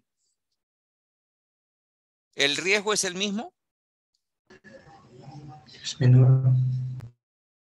No, no. Claro que no. No, estamos eliminando el trabajo en altura. O si usted diga, pues si es un poco más eh, conservadora, me va a decir, no, pero eh, ingeniero, de todas maneras hay, eh, hay riesgos haciendo, aunque sea a nivel de piso, si la persona está soldando, también hay otros, hay otros riesgos ¿no? en, la soldadura que no se eliminan totalmente. Pero el trabajo en altura ya lo sustituyó. No lo está haciendo, usted va a armar toda su tubería, ¿no? Y luego lo va a izar y luego lo, lo trabaja a nivel de altura, ¿no? Entonces ya usted está sustituyendo un trabajo en altura a nivel del piso. También puede ser la eliminación, ¿ah? La eliminación, viendo, por ejemplo, eh, vamos a, mencionar, bueno, ahí podría ser entre eliminación sustitución. Tenemos también lo que es la parte de controles, ¿no? El controles eh, o lo que son controles de ingeniería, por ejemplo, si estamos haciendo un trabajo en altura, ¿no? Si estamos haciendo un trabajo en altura, usted coloca, por ejemplo, una red, ¿no? Una red eh, que, pues, si la persona le falla, digamos, el, el, arnés, la línea de vida, eh, tiene una red, ¿no? Para poder detenerlo y que no sufra la caída. Y eso se conoce como control de ingeniería. También las barandas, por ejemplo, en trabajos en altura, se conocen como controles de ingeniería. Bien. En el caso de lo que son controles administrativos, ¿no? Los tiene claro en trabajo en altura, por ejemplo, el PETAR, que generalmente se utiliza un procedimiento escrito para trabajos de alto riesgo, lo que son el IPRC, que es en generalmente, o lo que es eh, la identificación de peligros, evaluación de riesgos y controles, y otras eh, herramientas administrativas como lo son el checklist, ¿no? Este, la señalización, los avisos, todo eso es control administrativo, ¿no? Que dice, por ejemplo, este, use su equipo de protección personal, este, no consuma alcohol para subir a trabajos en altura, en fin, eso es un control administrativo. Y finalmente están los EPPs, que están dentro, generalmente lo que más se utiliza, ¿no? Son arneses y líneas de vida, ¿no? Eso sería en cuanto a los EPPs. Entonces, eso es el, lo que es la jerarquía de los controles. Obviamente, eh, ¿por qué de repente usted me puede decir, no, bueno, pero si yo soy este, muy eh, soy una capa, profesor, haciendo los hiper y los petar, no hay quien me gane, pero aún con todo, esos son controles administrativos y son barreras blandas. ¿Por qué? Porque aunque usted lo llene muy bien, es probable que en el campo no se cumpla 100% lo que usted está diciendo en esa herramienta de gestión. Bien, es decir, o que también puede ser que hay mucho eh, factor humano entra, ¿no? En lo que es el control administrativo. Por ejemplo, el IPRC debe ser realizado con todos los trabajadores y a veces ocurre, no estoy diciendo que en todas, pero hay empresas que a veces el personal SOMA es el que llena el IPRC, ¿no? Y los otros señores están ahí, pues, este, sentados viendo, ¿no? Riéndose, qué sé yo, este, mientras que el supervisor de SOMA está llenando su, su IPRC. Eso ya desvirtúa eh, el, efecto, el espíritu, digamos, de lo que es el IPRC, en el cual participen todos y quien deben de identificar sobre todo las medidas de control son los trabajadores, ¿no? Entonces, por eso que son barreras eh, blandas. En cuanto a los IPPs, también, ¿no? Son blandos, ¿por qué? Porque también tienen mucha debilidad. Primero que no evitan el accidente, lo que hacen es minimizar sus efectos. Y por otro lado, también dentro de lo que es eh, los EPPs, pues hay muchas variables que se deben de controlar. Entre otras, bueno, por ejemplo, si usted está hablando de un arnés, ¿no? Eh, tiene un tiempo de, caducidad, ¿no? Si fabricado pues hace 10 años, ya más o menos ese eh, arnés probablemente si se cae no va a, a, a ser efectivo en la detención de esa caída, ¿no? Lo mismo puede ser si también usted, por ejemplo, este, ya ha sido utilizado por otra persona, ¿no? Las, las costuras testigo que tienen los, los arneses en la espalda, pues ya fue abierta esa costura, ya eso tampoco no la va a servir, ¿no? Usted se va a caer con todo. Si le fue, eh, los EPPs también tienen otro problema, por ejemplo, aparte de trabajos en altura, ¿no? Que hay muchas empresas que agarran y compran de una sola talla todos los arneses, ¿no? Entonces, ¿qué es lo que pasa? Por ejemplo, y sobre todo le digo porque en el día a día vemos, ¿no? Por ejemplo, en damas, eh, por lo general, ¿no? Tienen una contextura menor que la que tiene un caballero y si todos compran la misma talla, pues es difícil, ¿no? Que le ajuste ese arnés a, la, a esa dama, ¿no? ¿Por qué? Porque pues la contextura grande de los caballeros no le va a acoplar y si, y si, es una contextura pequeña, delgada, no lo va a ajustar. Entonces lo que se pone, ¿no? Cumple, pero miente, ¿no? Es un cumplimiento. Cumplo ponerme el arnés, pero bueno, ¿cómo me queda? Si está ajustado o no. No, no. Lo importante a veces es tener el arnés, no tener lo que, que realmente ajusta. Y, y, eso es falso. El arnés, si no está bien ajustado, no lo tenemos bien ajustado, pues usted se va a caer igualita hacia, hacia el piso, ¿no? Y amén de otras cosas, con el punto de anclaje, este, si hay la altura adecuada para que funcione el arnés o de repente tiene que tener un retráctil y bueno, y entonces toda esa cantidad de cosas que hay que seleccionar y tomar en cuenta a veces no se hace a nivel de los trabajadores. No sé si quedó respondida su pregunta. Si no, podemos ir a otro ejemplo. ¿eh? No hay problema. Sí, ingeniero. Sí, muchas gracias. Ya, perfecto. Muy bien, creo que nos hemos pasado un poquito el tiempo. Bien, vamos, ¿qué les parece? Vamos a irnos a un receso, descansamos unos 12 minutos y volvemos a vernos a las 6 y 45, ¿bien? Entonces vamos a aprovechar, tomar un poquito de agua, un café, algo, y nos volvemos a encontrar aquí en el aula virtual, ¿bien? Nos vemos entonces, por favor. Mm. Vamos a dar un pequeño receso, ¿bien?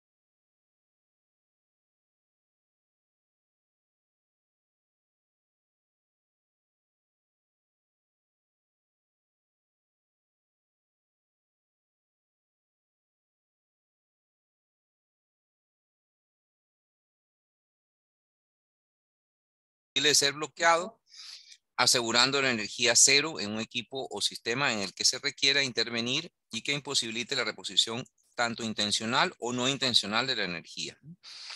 Bien, siempre cuando hablamos de bloqueo, acuérdense que siempre estamos asegurando con un candado. Si no hay candado, no estamos hablando de bloqueo no hablando de cualquier otra cosa, pero el bloqueo está siempre asociado al concepto de un candado en un dispositivo cuando no hay facilidades para colocar el candado, por ejemplo, en un interruptor, pues entonces se coloca un dispositivo que el cual nos permite colocar el candado, pero siempre debe haber la colocación de un candado. Y asegurando la energía en cero, ¿no? La energía, este es o también lo llaman en otras partes la prueba de no funcionamiento, luego la energía cero, un equipo en el que se requiere intervenir, ¿no? Y de esta manera pues se evita que pueda haber la reposición de energía. Con esto evitamos que alguien pueda reponer la energía y obviamente nos va a, a, causar un problema para todos los que estamos interviniendo el equipo. Esa intervención puede ser intencional o, o de, perdón, esa eh, reposición de energía puede ser intencional o no intencional. Pero siempre cuando estamos hablando de bloqueo es colocación de un candado. Dispositivos de aislamiento de energía. ¿no? En el caso de energía eléctrica hay varios dispositivos para aislar la energía. Uno de ellos es el interruptor termomagnético. ¿no? Puede haber también un interruptor o quizás quitar también el enchufe. ¿no? En el caso de sistemas eh, hidráulicos y neumáticos, tenemos diferentes válvulas. Como la que se muestra aquí, es una válvula tipo bola, esta es una compuerta, una tipo mariposa, ¿no? Todas estas son válvulas que van a permitir aislar la energía, ¿no? Entonces aquí tenemos, eh, es muy positivo que previene la transmisión de energía, sin embargo, por sí solo no representa el bloqueo. Este es el primer paso que hay que hacer para lo que es el bloqueo. Primero hay que aislar, luego hay que bloquear. Pero el hecho de aislar solamente un equipo no significa que estamos trabajando en forma segura. Cualquiera puede abrir otra vez la válvula, cualquiera puede eh, energizar el equipo, ¿no? En el caso del de, interruptor termomagnético, cualquiera puede volverlo a colocar en posición on y bueno, nos vamos a tener un problema. Bien. Bien.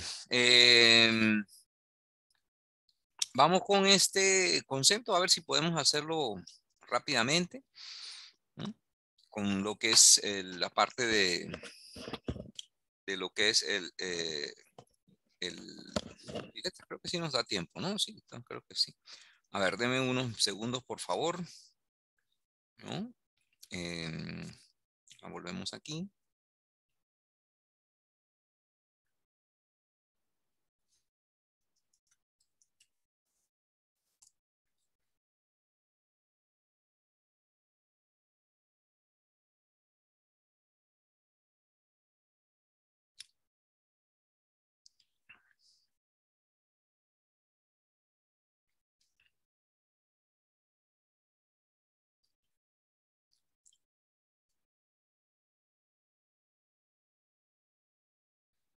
Bien, entonces...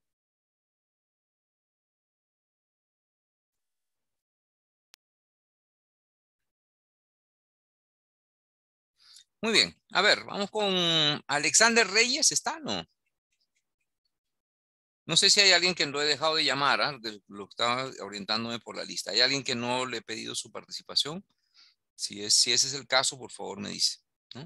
A ver, eh, Vamos con los que no lo he escuchado. Franklin Liza. Franklin Liza, ¿está? Franklin Liza. Buenas noches, ingeniero. le escucho. Ah, Franklin. qué gusto. Pensé que no estaba. Pensé que nos habías abandonado, este Franklin. A ver, a de Franklin. A ver, a de Franklin. Aquí tenemos un pupiletras con términos que están al lado derecho, que son asociados a lo que es eh, bloqueo etiquetado. ¿Puedes ubicar, por favor, por lo menos dos, este, Franklin? A ver. ¿Aló, señor? ¿Aló, señor? Me dice si la fila o la columna. Lo que pasa que no, no me agarra casi acá en la, donde me encuentro en el trabajo. Ah, ya. Muy bien. Bueno, tranquilo, no hay problema. Profesor, ¿yo puedo participar? Sí, cómo no. Por favor, apaga tu micrófono entonces, este, Franklin. ¿eh? Por favor, Franklin. Apaga el micrófono. Bien. A ver, adelante, señorita. ¿Cuál es su nombre? Amabel. Amabel. A ver, señorita Amabel. Indíqueme eh, la columna. Tarjeta en esta. Ajá. ¿Dónde? ¿Qué columna o fila? En la, en la penúltima, a la derecha. ¿Columna? Ah, columnas. Tarjeta. Ah, ahí está tarjeta, muy bien. ¿Qué más? ¿Una más? Eh, aislamiento. Ajá. ¿Dónde? Eh, donde está tarjeta adelante, pasando tres columnas. Ya, muy bien.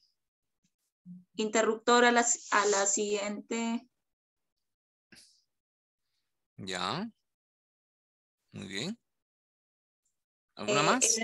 Energía pasando cuatro columnas. Energía, ¿aquí? energía, pero energía no, ¿ah? Solita no. energía cero. Energía cero, que es para obligado para uno de los pasos para hacer el, trabajo seguro. Muy bien, muchas gracias, señorita Mabel, ¿ah? siempre tan colaboradora. Bien, vamos con, a ver, otro, otro voluntario. Ingeniero, A ver, vamos en orden. José Valdivieso. Valdivieso. A ver, Valdivieso. Vamos con Valdivieso y luego vamos con los siguientes. A ver. Ya, en la parte de arriba, en la parte de arriba, cadenas. Cadenas. Arriba, arriba. Muy bien, cadenas. Muy bien, Valdivieso. Purgar. Purgar. Ya. En la parte, ah, en la parte donde estaba energía cero, abajo. Purgar. Purgar. Muy bien. Bien, ¿alguna más? Caja de bloqueo. A ver, ya, si no Eh, tiene ninguna más, no, no, no importa, José. Ah, así le damos oportunidad a otro, pues. Pamela, ¿puedo participar, ingeniero? Yo, Claro. Pamela, ¿cuál es su apellido, señorita? Porque hay dos Pamelas. ¿Guamaní o Chota? Chota. Pamela Ah, ya, Chota. Ajá, adelante, señorita Pamela. Ya, eh, donde dice locus que está al costado de energía cero. Al lado de energía cero. Lockout, sí, es el procedimiento de... Ajá, lockout, que es bloqueo etiquetado. Lockout, tagout. Caja de, ajá, caja de bloqueo también. Caja de bloqueo, que es para hacer... Ajá, que es para hacer el bloqueo grupal. Ujú. Déjame marcarlo, se me escapó. Muy bien, ¿tiene alguna más, señorita Pamela? Candado que está al costado también de energía cero. Al costado de, de energía cero. Ahí. Muy bien, muy bien, muchas gracias. ¿Alguien más? ¿Alguien más? Yo, profesor. A ver, ¿cuál es su apellido? Vamos a darle a las damas primero, ¿le parece, caballero? Y después voy con usted. A ver, su nombre, señorita. ¿Mm? Kenya. Kenya, muy bien. Adelante, señorita Al Kenya. lado, de- al lado de energía cero, dice Ajá. llaves. Llaves, muy bien, también necesarias. Muy bien. ¿Una más? Y fuente de energía, sí, al lado de tarjeta, la siguiente columna. Ajá, fuente, Tarjeta, ajá, fuente de fuente de energía. Muy bien, excelente. Muchas gracias, señorita Kenya, muy amable. A ver, el caballero que estaba pendiente. Yo. Fernando Calderón. A ver, Calderón. Eh, válvulas, que está al lado de cadenas. Al lado de cadenas. Arriba, arriba, arriba. En la Arriba, esquina ajá. superior. Válvulas. Muy bien. Tagao, tagao. Ajá, ¿dónde está Tagao? Que es tarjeta, el etiquetado. ¿no? Está arriba del Ah, candado. Ya, muy bien. Muy bien, muchas Drenar. gracias.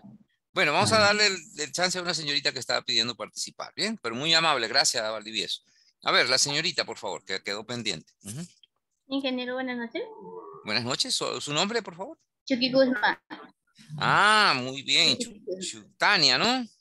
Adelante, señorita Tania. A ver. Drenar al costado del lockout hacia la parte Ajá, Superior. drenar. Ajá, muy bien. y, prueba eh, al costado de aislamiento. Ya. Aquí, se me escapó. Muy bien. Cerró usted con broche de oro. Muy bien, muchas gracias, señorita Tania. Vamos a continuar entonces. ¿eh? Eh, ahora sí. Vamos entonces, luego de esta pequeña actividad, entonces vamos a continuar ahora con lo que es el desbloqueo de energía. Así como también hacemos para el trabajo de, eh, de queremos intervenir un equipo, maquinaria o sistema, necesitamos bloquear, ¿no? Luego que terminamos ese, ese trabajo de mantenimiento, de inspección, necesitamos desbloquear la energía, ¿no? Entonces el desbloqueo es el acto de retirar un candado de un dispositivo bloqueador de energía después del término de cualquier tipo de actividad, ¿no? Una vez que terminamos, es necesario también proceder con el desbloqueo de energía, ¿bien?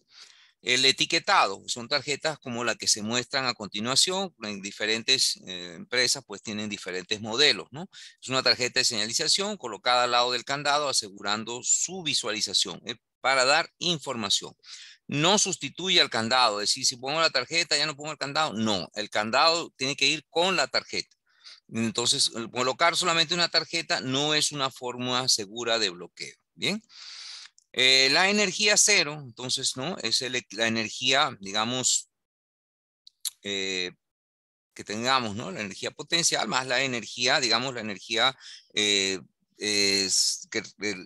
que, tenemos ¿no? en los equipos. Hay una energía principal, una energía residual y toda esa energía debe ser totalmente cero, ¿no? No debe haber energía, ni la energía, digamos, de propia del equipo y más la energía residual debe ser igual a cero. Pero la condición de energía cero del equipo, máquina, instalación o sistema donde toda la forma de energía estén bloqueadas y desactivadas. ¿no? Ningún servicio debe hacerse con, con movimiento o energizado. Busque siempre energía cero. ¿no? No, es, no es suficiente tener aislamiento y bloqueo, sino que también debemos verificar que no haya energía residual. Para eso hacemos pruebas de disipar la energía residual y hacer la prueba de eh, no funcionamiento o ponerla en, marcha el equipo para verificar que realmente está completamente desenergizado. Bien, esta prueba de energía cero se hace con los botones de on-off, ¿no? De, encendido y apagado. Eh, eh, se hace, constata con esto. Que hay ausencia de energía. Hay una medida de seguridad que debemos de tomar ¿no? Adicional, cuando hacemos la prueba de energía cero, debemos de verificar luego también que esté apagado. ¿Por qué? Porque cuando vamos a restituir o restablecer la energía, entonces si lo dejamos con este switch en posición de encendido, el equipo podría arrancar en forma incontrolada. Bien. Categorías de trabajadores, bueno, esto puede recibir diferentes nombres, hay trabajadores que son autorizados, hay otros que son afectados y hay otros trabajadores. El autorizado debe estar siempre capacitado, entrenado para identificar peligros, evaluar riesgos y tomar medidas de control en la fuente de energía donde se realizará el bloqueo. ¿no? Eh, aislamiento, aplica bloqueo y etiquetado. Y procedimiento específico de la tarea a realizar. También tiene conocimiento sobre qué tarea se va a realizar, porque el bloqueo etiquetado es un paso más dentro de, de la actividad que ellos van a realizar. Bien. También hay el concepto de un trabajador afectado. Una persona puede ser que no va a realizar ningún trabajo en un equipo, sin embargo, si está cerca donde vamos a intervenir el equipo, pudiera estar afectado, ¿no? Entonces, trabajan con o cerca al equipo, máquina o sistema que se va a intervenir o se dará servicio y están capacitados para reconocer el bloqueo. Es decir, si hay un equipo bloqueado, pues deben estar atentos, ¿no? Con respecto al bloqueo de ese equipo. Y otros trabajadores, es cualquier trabajador que no usa maquinaria, pero que está en el área donde se está dando mantenimiento a la máquina, ¿no? que también pudiera en un momento dado salir afectado si es que no tomamos las medidas de prevención. Bien, Vamos entonces con los principales accidentes que ocurren cuando bloqueo y aislamiento de energía. ¿no? Durante la ejecución de los servicios, mantenimiento, máquinas, equipos, ¿no? Las personas pues, están expuestas a estos riesgos, ¿no? Los choques o descarga eléctricas, contacto con partes móviles y contacto con productos peligrosos. Entonces, eso básicamente son los principales, em, eh, los principales riesgos a los que están expuestos cuando eh, tenemos que eh, un contacto con una energía peligrosa. Bien. Bien, las causas de accidentes, ¿no? Cuando un colaborador no realiza adecuadamente los pasos establecidos en el procedimiento de bloqueo y aislamiento de energía, se expone a sufrir lesiones muy graves que pueden poner en riesgo su vida y esto puede ocurrir por ¿no? inesperada energización o accionamiento y liberación de, o liberación de energías residuales, ¿no? Em, se puede energizar el equipo o accionarse repentinamente o también puede eh, hacer que existan energías residuales si es que no hemos verificado que hay energía cero. Bien. Bien, entonces tenemos lo que es el, el, bloqueo y aislamiento de energía. Es un procedimiento de seguridad en el trabajo y consiste en bloquear y etiquetar dispositivos de accionamiento, apertura o aislamiento de energías peligrosas y así prevenir una liberación no controlada de las mismas, como habíamos señalado en el ejemplo, donde hay diferentes tipos de energía. Bien. El bloqueo de aislamiento de energía, como les dije, siempre se hace con un candado, eh, y debe haber una buena práctica tener una tarjeta, ¿no? La tarjeta que informe que estamos realizando, qué tipo de intervención o mantenimiento estamos realizando en ese equipo, maquinaria o sistema. Aquí tenemos otros eh, em, accesorios para bloqueo, en este caso una tenaza o un multiplicador, como ustedes lo quieran llamar, Aquí tenemos también otros dispositivos que nos permiten colocar nuestro candado, ¿no? Aquí también tenemos otro accesorio que nos permite colocar nuestro candado, un interruptor termomagnético, y así, ¿no? Tenemos diferentes eh, accesorios para poder, que nos permiten colocar el candado. Bien. Bien, entonces los cuatro pasos para el control de energías peligrosas son los siguientes. En primer lugar, identificar la energía, ¿no? Siempre debe haber una, una lista o un documento donde se identifiquen las energías. Hay unas empresas que lo tienen, otras no lo tienen tan desarrollado. Si lo tienen, hay que, eh, hay que hacer este trabajo previamente antes de proceder con los siguientes pasos. ¿no? Identificar primero todas las energías peligrosas que interactúan con el equipo que vamos a, intervenir. Luego vamos a aislar o desenergizar, en el caso de la energía eléctrica, aislar en el caso de una válvula, ¿no? cerrando la válvula bloquea la presión y bajando la palanca desconecta el equipo eléctrico. ¿no? Luego procedemos a bloquear y etiquetar, ¿no? Entonces, donde en la válvula, o bien sea en la válvula, que hay este accesorio que se coloca en la válvula para poder colocar nuestro candado, o bien también en lo que es el desenergizado, bajando la palanca, también la aislamos, ¿no? Em, la bloqueamos con un candado y una tarjeta. Y luego finalmente viene el test de energía cero, ¿no? Para verificarnos que no haya energías residuales en el equipo que también nos puedan ocasionar un accidente. Bien. Bien, hay diferentes eh, personas que intervienen ¿no? en, en lo que es el procedimiento de bloqueo etiquetado.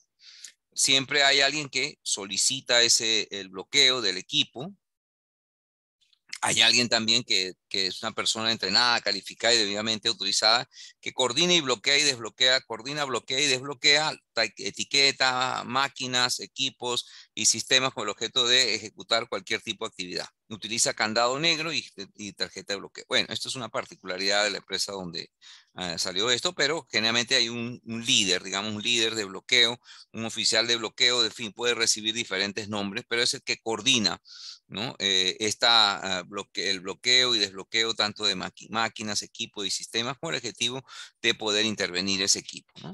Y hay un ejecutante de bloqueo, generalmente por, si es un caso de electricidad, es un electricista, si en el caso de que estamos hablando de válvulas o de otros equipos, este es un operador de área o puede ser también un mecánico, que es el, el responsable respectivamente de realizar los aislamientos, liberaciones de circuitos eléctricos, válvulas autopropulsadas, aislamientos mecánicos, ¿no? Por solicitud de quién? Del el oficial o líder de bloqueo, ¿no? Depende de donde usted recibe muchos nombres, pero siempre es la persona que coordina los bloqueos, ¿bien? Tenemos entonces también luego esta matriz de bloqueo, aislamiento, energías. ¿Para qué sirve esto? No? Cuando tenemos esta matriz de bloqueo es para identificar, supongamos que tenemos este es el equipo procesos, entonces identificamos ¿no? para hacer una intervención en este equipo dónde están las energías peligrosas y cuántos puntos de bloqueo debemos tener. ¿no? Y entonces en cada punto de bloqueo, ¿cómo lo vamos a efectuar? Aquí tenemos los accesorios, por ejemplo, para una válvula, para un para otra energía, en este caso una, una eléctrica, aquí tenemos una energía hidráulica, aquí tenemos una energía química, ¿no? Aquí otra energía química, también para colocar en válvulas que son válvulas de, de bola, ¿no? Entonces tenemos diferentes eh, dispositivos de bloqueo, diferentes tipos de energía, ¿no? Y acá indicamos el punto de bloqueo, el bloqueo, el test de energía residual que se debe aplicar y cómo se debe efectuar el desbloqueo. Esto se conoce como matriz de bloqueo y aislamiento de energías. Es muy útil porque ya está previamente identificado todas las energías que debemos de de, eh, de retirar, de aislar y bloquear. Identifica entonces energías a ser bloqueadas, principales y residuales, identifica los puntos donde se realizará el tratamiento de cada energía y dispositivo a ser utilizado.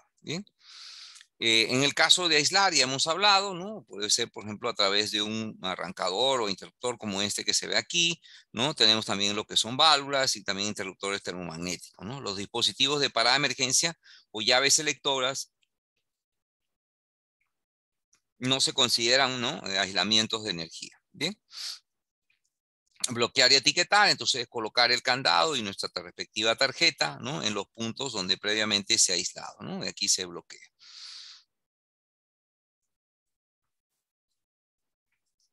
Cuando van a intervenir muchas personas ese equipo, entonces también lo que se hace aplicar, ¿no? Es un bloqueo grupal, es decir, cuando hay muchas personas que van a intervenir un equipo o cuando son muchos los puntos de bloqueo o simplemente como una medida de seguridad, ¿no?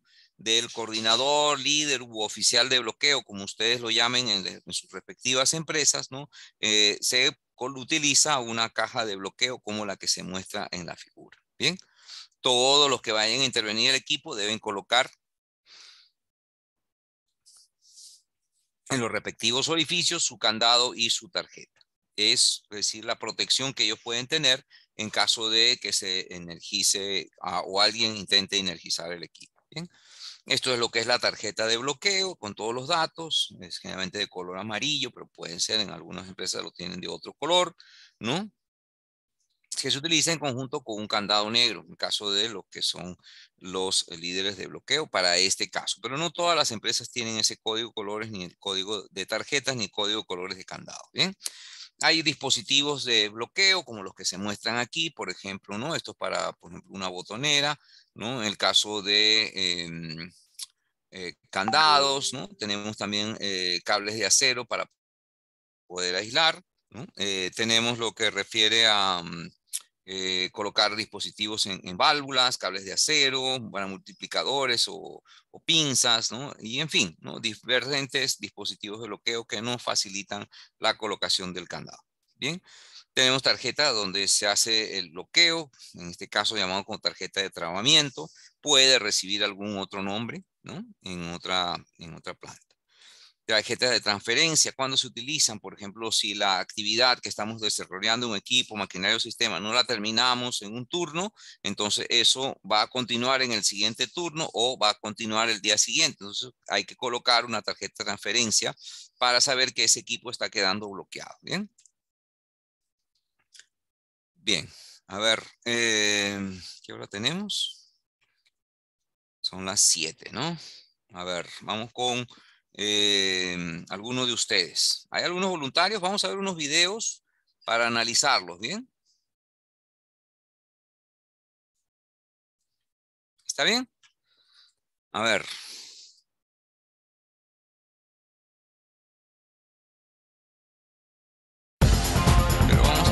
aquí. Eh, déjenme un momento, por favor.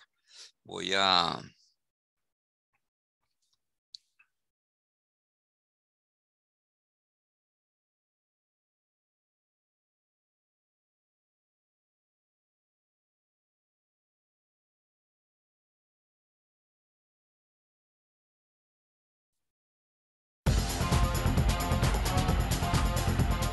more high impact lockout tagout safety training.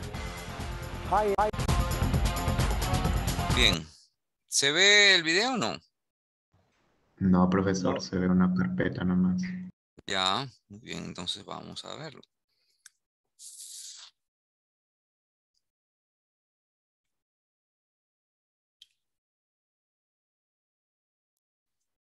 ¿Ahora sí?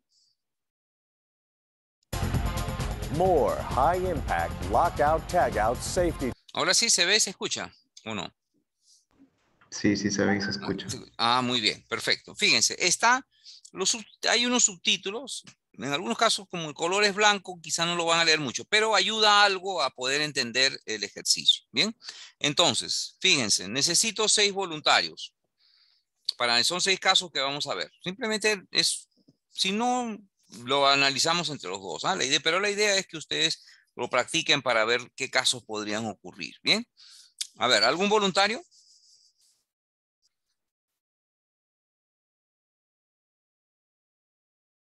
¿Algún voluntario? A ver. Eh, Ingeniero, buenas tardes. Buenas tardes, sí. Eh, ¿Yo puedo ser voluntario? Sí, claro. ¿Quién? ¿Cuál es su nombre? Pedro Solís. Pedro Solís. Muy bien, Pedro, excelente. No tenía ninguna participación tuya, así que esto cae como el niño al dedo. Muy bien. ¿Quién más? Yo, profe. Chumacero. Chumacero. Muy bien. ¿Alguien más? Las damas. Las damas al poder, ¿no? Ya, profesor. Kenya ¿Quién? Kenya. Muy bien, Kenya. Bien. ¿Alguien más? Son seis casos. Bien, a ver si alguien se, se anima. Entonces vamos a ir primero con Pedro Solís, ¿no? Después vamos con Jesús Chumacero y luego la Bien, vamos a ver los seis casos. Yo les digo cuándo empieza el primer caso. Bien, seguimos. Safety lessons, and this program from ERI Safety Videos is no exception. By reenacting six powerful lockout tagout incidents, this program provides the following unforgettable lessons related lockout tagout operations. Aquí empieza el primer caso, When Pedro. unqualified personnel attempt to perform lockout operations, they are committing a potentially fatal error. No, stop! Stop! No! Stop! Stop! Yeah, he was dead before they even got him out. Bien. When workers A ver, Pedro. Coméntame, ¿cuál sería la causa de este, este primer accidente? Pedro Solís. A ver. Eh, Ingeniero, este, logré visualizar poco, pero por lo que entendí, eh, dice que el personal ya estaba muerto al momento de manipular el, el equipo o algo así, entendí. Al final No- sí, no claro, sé. queda, queda muerto. Es correcto. Mm, Pero, ¿por qué? Vamos a verlo una vez más, a ver si lo puedes captar, ¿bien? Empieza, este caso empieza aquí. Ya vamos a ponerlo aquí. operations. When unqualified personnel attempt to perform lockout operations, they are committing a potentially fatal error. No, stop! Stop! No! Stop! Stop! Yeah, he was dead before they even got him out. Muy bien. ¿Ahora sí lo viste, Pedro? Sí, ahora sí, ingeniero. Dice personal no, ca- no calificado. De- exactamente, ¿no? Es, la, es- la es algo de, de muy equipo. Claro, muy bien, muy bien, Pedro. Es el caso que resalta, el, el por eso lo ponen de primero, es el caso en el que la persona no está autorizada para efectuar bloqueo etiquetado. Por, en casi, casi la mayoría de las empresas, para tú efectuar bloqueo etiquetado, debes tener primero una autorización. Generalmente te dan un carnet o un photocheck para identificarte, ¿no? Que, que estás autorizado para efectuar bloqueo etiquetado. Muy bien, muchas gracias, Pedro. Vamos entonces con el segundo caso, vamos con el señor Jesús Chumacey. Vamos con el segundo caso. Este es el segundo caso. severe injuries can quickly occur. Look, if you're supposed to do a lockout, do it. Bien, a ver. Eh, Chumaceiro. Sí, ingeniero, este, hubo un atasco en, en- en la maquinaria y, y debió proceder a hacer el bloqueo, ¿no? Claro, y la operaria. Eso puede ocurrir, ¿verdad? En la, en la, en la vida real, ¿qué dices tú? Sí, sí, sí puede ocurrir, ¿no? ¿Qué es lo que pasa? ¿Por qué generalmente el operario comete estas imprudencias? ¿Qué es lo que puede llevarlo a hacer esto? Uno creo que uno por el tema que se deja llevar por el tema de la rutina, ¿no? O sea, eh, evita seguir el procedimiento y, Podría y ser. una falta de eso confianza. Y la otra es el No tiempo, no ¿no? el tiempo, ¿no? El tiempo, porque ¿qué es lo que dicen generalmente en las empresas los operarios? Que el mantenedor está siempre solícito, dispuesto, o, o se tarda un poco en, en hacer la reparación el mantenedor. La realidad, Claro. Se van a tardar ¿No? un poco. Se va a tardar un poco, entonces a veces el operario también ne- a- a- comienza a hacer ese tipo de imprudencias para evitar llamar al, al mantenedor, porque aquí qué es lo que debe haber hecho, bueno, parar, y es una operaria de parar la maquinaria, llamar al, al mantenedor y que repare lo que, lo, que, lo, que, lo que había que reparar, ¿no? Muy bien, muchas gracias, Chumaceiro, ah, muy amable. Vamos ahora con la señorita, la señorita Kenia, ¿no? Kenia. Kenia me había dicho que quería. Vamos a ver este tercer caso, Kenia. Ya, sí. A ver. Maintenance workers who fail to verify their lockout are setting themselves up for injury. When all A ver, señorita Kenia, ¿qué pudo usted ver de este trabajo en tableros eléctricos? A ver. Eh, veo que lo que leí que están haciendo, se están preparando para hacer un, un mantenimiento. Ujú. Ujú. Eh, pero viene un trabajador, creo que no está informado y comete el error pues de, de manipular, ¿no? La falta de energía. Eh, está en un tablero eléctrico, no puede usted intervenirlo así directamente, ¿no? Claro, Tiene que estar desenergizado. claro. Tampoco está Bien. señalizado el tablero ni nada. Ya, ese- esos accidentes son muy graves en tableros, ¿ah? ¿Por qué? Porque eso está energizado y dependiendo de la energía, por lo menos debe ser 220, ¿no? La energía más, más baja que hay aquí en Perú eh, sería 220 voltios, pero podrían ser de más, podrían ser de 440, 480 y hasta más voltios. Cualquier eh, accidente ahí, pues, si sufre un choque eléctrico, es mortal. Si hay quemaduras, pues es una lesión muy grave, ¿no? Muy bien, muchas gracias, señorita Kenia, muy amable. A ver, vamos con otro más. ¿Algo voluntario? ¿Alguien se anima? Aquí está lo que pueden quedarle, sobre todo de lo que es bloqueo etiquetado. ¿Alguien más que se anime a participar? A ver, las damas. Las damas siempre son más acuciosas, más mm, detallistas, ¿no? ¿Alguna? Quizás se anime. La señorita Mabel, ¿se anima? Señorita Mabel, ¿me escucha? No. Sí, sí, ingeniero yo. A ver, vamos con la señorita Mabel. Yo sé que no iba a decir que no. Vamos a ponerlo, retrocederlo un poquito. Y vamos a empezar con este caso. Y termina el anterior. When all workers don't apply their own locks to a group lockout hasp, a tragedy of miscommunication can easily occur.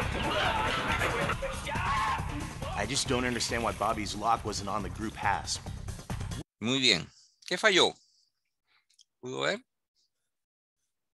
Señorita Mabel.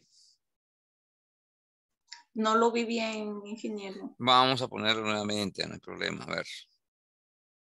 Fíjese el detalle. ¿ah? Vamos a poner al final. Este es aquí. Aquí. When all workers don't apply their own locks to a group lockout hasp, a tragedy of miscommunication can easily occur. I just don't understand why Bobby's lock wasn't on the group hasp. We've got to schedule a meeting. Bien. ¿Qué pasó? Vamos a ver si la, la ayudamos. ¿Cuántas personas habían trabajando? Señorita. Habían eh, cuatro personas. He visto dos abajo y, y- Dos. Pero los que estaban interviniendo eran dos. Sí, eran dos. Pero lo que pasa es que hay manipulación de, de- de herramientas porque no se están fijando en, en la parte eh, que es, hay una máquina que gira. Exactamente. Eso se utiliza mucho en las plantas, ¿sabes? Por ejemplo, ¿sabe para qué se utiliza, por ejemplo, los, los, los fluidos? Si hay muchos que se sedimentan, ¿no? Usted no sé si ha tenido a veces un tanque de agua, un rotoplas. ¿Qué pasa con el agua al, al fondo? Generalmente, ¿qué se crea? Un barro, ¿no? Sí, Tierra, barro, es un lodo abajo que tienen. Eso pasa en todas las, en todas las plantas. Cuando tienen un tanque, si no hay el movimiento, entonces hay estos eh, agitadores, estas aspas, que lo que hacen es que mantenerlo, como decir, como cuando hace usted un cóctel, ¿no? Que lo va batiendo para que no se asiente. Porque si usted lo deja de, de- de- de licuar, quizá en la lavadora o en un equipo este que utilizan los bartenders, pues sinceramente todo se va a sentar. Igual ocurre con en los fluidos. Entonces, para eso utilizan estas aspas para que eso no ocurra, ¿no? Para mantenerlo una mezcla lo más homogéneamente posible. Bien, entonces fíjense, aquí eh, hay una cosa clave, ¿no? Cuando se va a intervenir un equipo, en este caso habían dos personas, ¿no? Y lo que se hace énfasis es lo siguiente, ¿no? Los dos deben colocar los candados. Cuando somos dos, si, por ejemplo es usted, señorita Amabel, y soy yo los que vamos a hacer un trabajo dentro de un tanque como el que se vio ahí, ambos tenemos que poner nuestro candado. Usted no se puede confiar de que yo puse un candado, ni yo me puedo confiar de que usted puso su candado, sino que yo pongo mi candado y usted independientemente pone su candado. ¿Bien? ¿Qué pasó aquí? Que uno de los dos dejó de colocar su candado, que es el muchacho que al final queda afectado por las aspas, ¿no? Ah, un accidente con las aspas. Él no pone su candado y el otro señor arranca el equipo. Y entonces ocurre el accidente, ¿no? Cuando su- no, eso está completamente prohibido, todo. Si somos 10 personas, tiene que haber 10 candados. Si somos 15, debe haber 15 candados. Y así, ¿no? La cantidad de personas que están interviniendo el equipo, supóngase una parada de planta, por ejemplo, de repente hay 20 o 50 personas en el, equipo, pues los 50, y tiene que haber 50 candados, porque ese es su seguro de vida. El candado va a garantizar de que ese equipo no lo van a energizar hasta que usted no se haya terminado de hacer el mantenimiento. ¿Bien? ¿Está claro? ¿Señorita Mabel o no? Sí, ingeniero. Ah, muy bien. A ver, vamos con otro voluntario. Hay otro caso más. A ver. Alguien. A ver, las damas, a veces las damas son más aguerridas, a ver si se anima. Señorita Kelly, ¿se anima, señorita Kelly?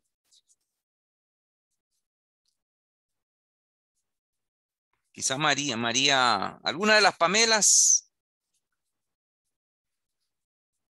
¿Alguna de las Pamelas, Guamaní o Chota? A ver, la señorita Rosario, tampoco no la he escuchado. No sé si estará todavía en la capacitación. Señorita Rosario Cabezas, ¿está? No, no, ha, par- ah, no ha Buenas participado. noches, eh, ingeniero. Sí, señorita Rosario. Buenas noches, ingeniero. Sí, señorita Rosario. Buenas noches. Eh, Buenas noches. A ver, vamos a ver este caso, señorita. Buenas noches. A ver, vamos a ver este caso y usted lo, lo analiza y si no, yo la ayudo a que lo terminamos de analizar. Taking a shortcut and skipping procedures to save time Quite simply, took a short. can turn a line-breaking operation into a nightmare.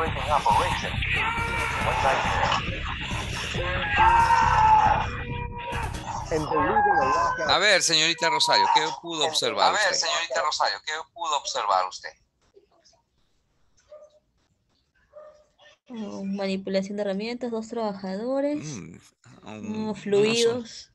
El fluido. ¿Ese fluido sabe qué cosa es? Es un producto químico. ¿Ese fluido sabe qué cosa es? Es un producto Parece. químico. Un producto químico muy agresivo porque la causa Producto quemadores al muy entrar agresivo porque la causa quemadores al entrar en contacto con el trabajador, ¿no? en Bien. contacto con el ¿Qué cree, qué cree usted que falló ahí? ¿Qué cree, qué cree usted que falló ahí? Mm, no se ejecutó este, el procedimiento correctamente. Específicamente. Específicamente. Aquí no había. Ya, pero fíjese, el,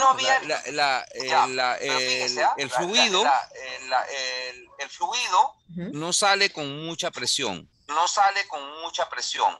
Eso significa ¿no? Eso que habían significa cerrado la válvula. Que ¿bien? habían cerrado la válvula.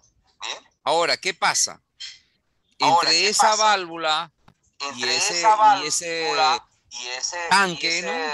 tanque que iba a intervenir tanque, este ¿no? señor, tanque que iba a intervenir este señor, ¿queda fluido o no? ¿queda fluido o no? ¿Qué dice usted? A ver, usted ha visto, por ejemplo, en ¿Qué su usted? casa, A ver, usted ha visto, por ejemplo, en su casa, cuando cierran, por ejemplo, la llave general, cuando de- cierran, de- por ejemplo, la o llave la, general, válvula de- general de- que alimenta tu la, casa, la válvula general que alimenta tu casa, en las tuberías queda una fluido purga. remanente. en las Sale del tuberías queda restante. fluido remanente. Un remanente. Sí. Claro, queda, esa es una energía Claro, residual. Eso es lo queda- que ocurre esa aquí. es una energía residual. Eso es lo que ocurre aquí. ¿Mm? Le queda fluido entrampado Le entre la válvula fluido y el entrampado tanque entre que la va a válvula intervenir. Y el tanque que va a intervenir. Entonces, cuando él abre la, la tapa Cuando del- él abre del- la, de este la tapa tipo, del, de- de- sale el este fluido y tipo, obviamente es muy peligroso y lo quema. Y obviamente es muy peligroso y lo quema. pues. Mm. Bien. Muy bien, vamos a ver el último caso. A ver, ¿qué lo analizamos? A ver, uno de los caballeros. Último caso. ¿Quién se anima?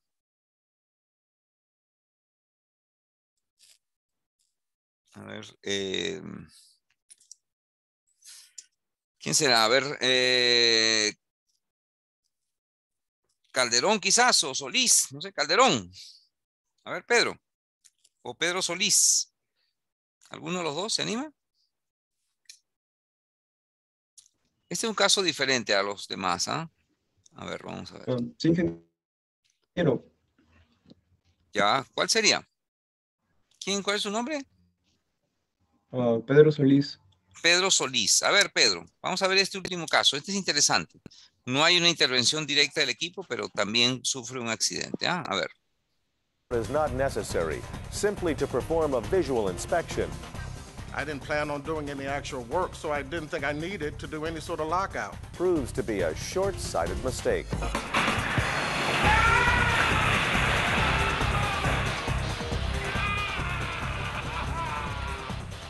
In addition to these powerful reenactments, Muy bien, Pedro, a ver, ¿qué pasó aquí? Mm, Por lo que vi, el operario estaba manipulando una especie de cinta y al parecer se, se prendió esta cinta y, y le, le hizo una especie de cortadura en su brazo. Sí, se puso en movimiento. ¿Verdad? Me puso en movimiento. Bien, ahora, ¿por qué él dice que no, no, no hace bloqueo etiquetado? ¿Me escuchaste? ¿Lo viste? Este caso es diferente a, tos- a los otros cinco ah, en ese aspecto. Acá no hay una intervención directa. ¿No? Bien, La él no- dice... no, me percaté muy bien este el Eh, ajá, este caso habla de lo que son las inspecciones, pero nosotros dijimos que también el bloqueo etiquetado aplica a lo que son las inspecciones, ¿bien? Entonces, este caso es el caso de una inspección. Entonces, él dice, como era una inspección, yo consideré que no era necesario aplicar lo que es bloqueo etiquetado. Sin embargo, él fíjate que hay una barrera, ¿no? Estas barandas son barreras, él pasa la barrera, este, en- se energiza el equipo o energiza el equipo para poder observar y obviamente con el movimiento se expone en la línea de fuego y le ocurre ese accidente, ¿no? Entonces también cuando hacemos actividades de inspección, también debemos de tomar las medidas preventivas, ¿no? Y pues debe estar definido nuestro procedimiento escrito de trabajo seguro cómo se va a efectuar, ya que lo vamos a hacer con el equipo energizado, en este caso en movimiento. Bien.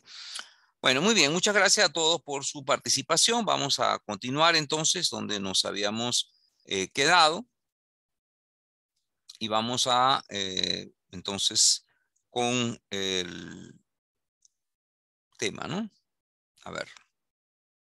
¿Se ve la diapositiva? Bien. ¿Se ve o no? Sí, se ve. Ah, ah, perfecto. Muy bien. Ingeniero. Miren, hay una tarjeta que es una tarjeta personal.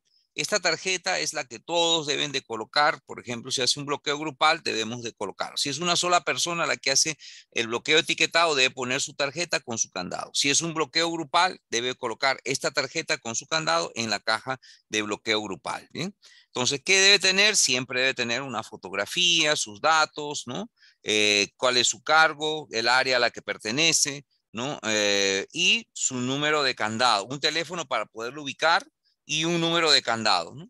Entonces, esta es, es una cosa seria también, ¿no? Ninguno, por ejemplo, no está permitido en ninguna empresa que usted pueda prestarle su tarjeta a otro para bloquear o él pedirle de que le retire su tarjeta si está mm, bloqueado. Eso se considera por lo general en la mayoría de las, de las minas, por lo menos, como una falta grave, ¿bien? Tenemos esto, lo que es el petar de bloqueo etiquetado. Yo voy a citar un ejemplo, que es donde la mina donde trabajo, que es la minera de Chinalco. Es, un, es solamente para darle un ejemplo, ¿no? Probablemente donde ustedes trabajen sean otros modelos, ¿no? Es un permiso escrito de trabajo de alto riesgo, donde se indica el trabajo a realizar, en la guardia en cual se está efectuando, si es turno noche, turno de día, el lugar de trabajo, el equipo que se va a bloquear, qué fecha de inicio, fecha de término, y acá una breve descripción de lo- del trabajo, del objetivo del trabajo a realizar. Aquí se evalúan los documentos, por ejemplo, si los colaboradores cuentan primero con la capacitación vigente, ¿no? En lo que es bloqueo etiquetado, si se realizó el IPRC de línea base para este trabajo, si este trabajo a realizar es rutinario o no es rutinario, para poder, si no es rutinario hay que hacer un ATS, de ser rutinario cuenta con el procedimiento escrito de trabajo seguro y está autorizado y que sobre todo a veces hay que revisar que esté actualizado, ¿no? No más que auto, eh, eh, bueno, también autorizado, pero también que esté actualizado. Los trabajadores fueron instruidos en el desarrollo del PES para realizar el trabajo, de ser un trabajo no rutinario, en el caso que no tenga un procedimiento, se desarrolló un ATS y se encuentra autorizado, y si se realizó el IPRC continuo y se encuentra debidamente llenado y firmado por todos los trabajadores, ¿no? Luego, tenemos también lo que es la evaluación del aislamiento y bloqueo, si hay un líder, o en este caso puede ser un eh, supervisor, ¿no? De bloqueo o, en fin, oficial de bloqueo, también lo llevan en otra parte, evalúa los puntos de aislamiento del equipo sistema. El tipo de bloqueo a emplear es bloqueo personal. El personal colaborador cuenta con los dispositivos de bloqueo, es decir, candado y tarjeta personal.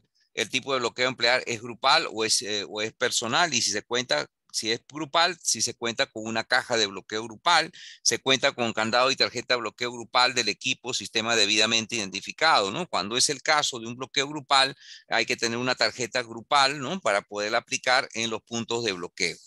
Eh, la se coordinó con el personal, digamos en este caso de la minera, eh, el responsable, el bloqueo del equipo sistema. ¿no? Se identifican las energías peligrosas a bloquear. Las más frecuentes son eléctrica, mecánica, neumática, hidráulica, nuclear, térmica, química. Y si hay algún otro tipo de energía, se agrega en este espacio. Eh, hay que hacer una lista de verificación de todos los puntos de aislamiento, bloqueo y etiquetado, indicando el equipo, su identificación, el punto de bloqueo, la instrucción de aislamiento y finalmente poner un check cuando ya hemos colocado, digamos, el, aislamiento y el bloqueo. Eh, los pasos de bloqueo, en este caso de esta minera, son cinco pasos de bloqueo, pero eso en, otras empresas puede variar. También se hay que indicar los equipos de protección personal que se van a utilizar, indicando si utiliza casco, lentes, tapones, careta, chaleco, ropa antiflama, guantes de cuero, guantes para químicos, guantes dieléctricos, respirador media cara, respirador full face, zapatos de seguridad, candado para bloqueo, tarjeta de bloqueo, ¿no? observaciones, recomendaciones y las respectivas firmas de los supervisores. ¿bien? Bien, vamos a ver un video, en este caso un poco más ligero, este es de Napo, donde vamos a ver también resaltar ¿no? la colocación del candado. Me dicen por favor si se escucha. Sí se escucha. Muy bien, gracias.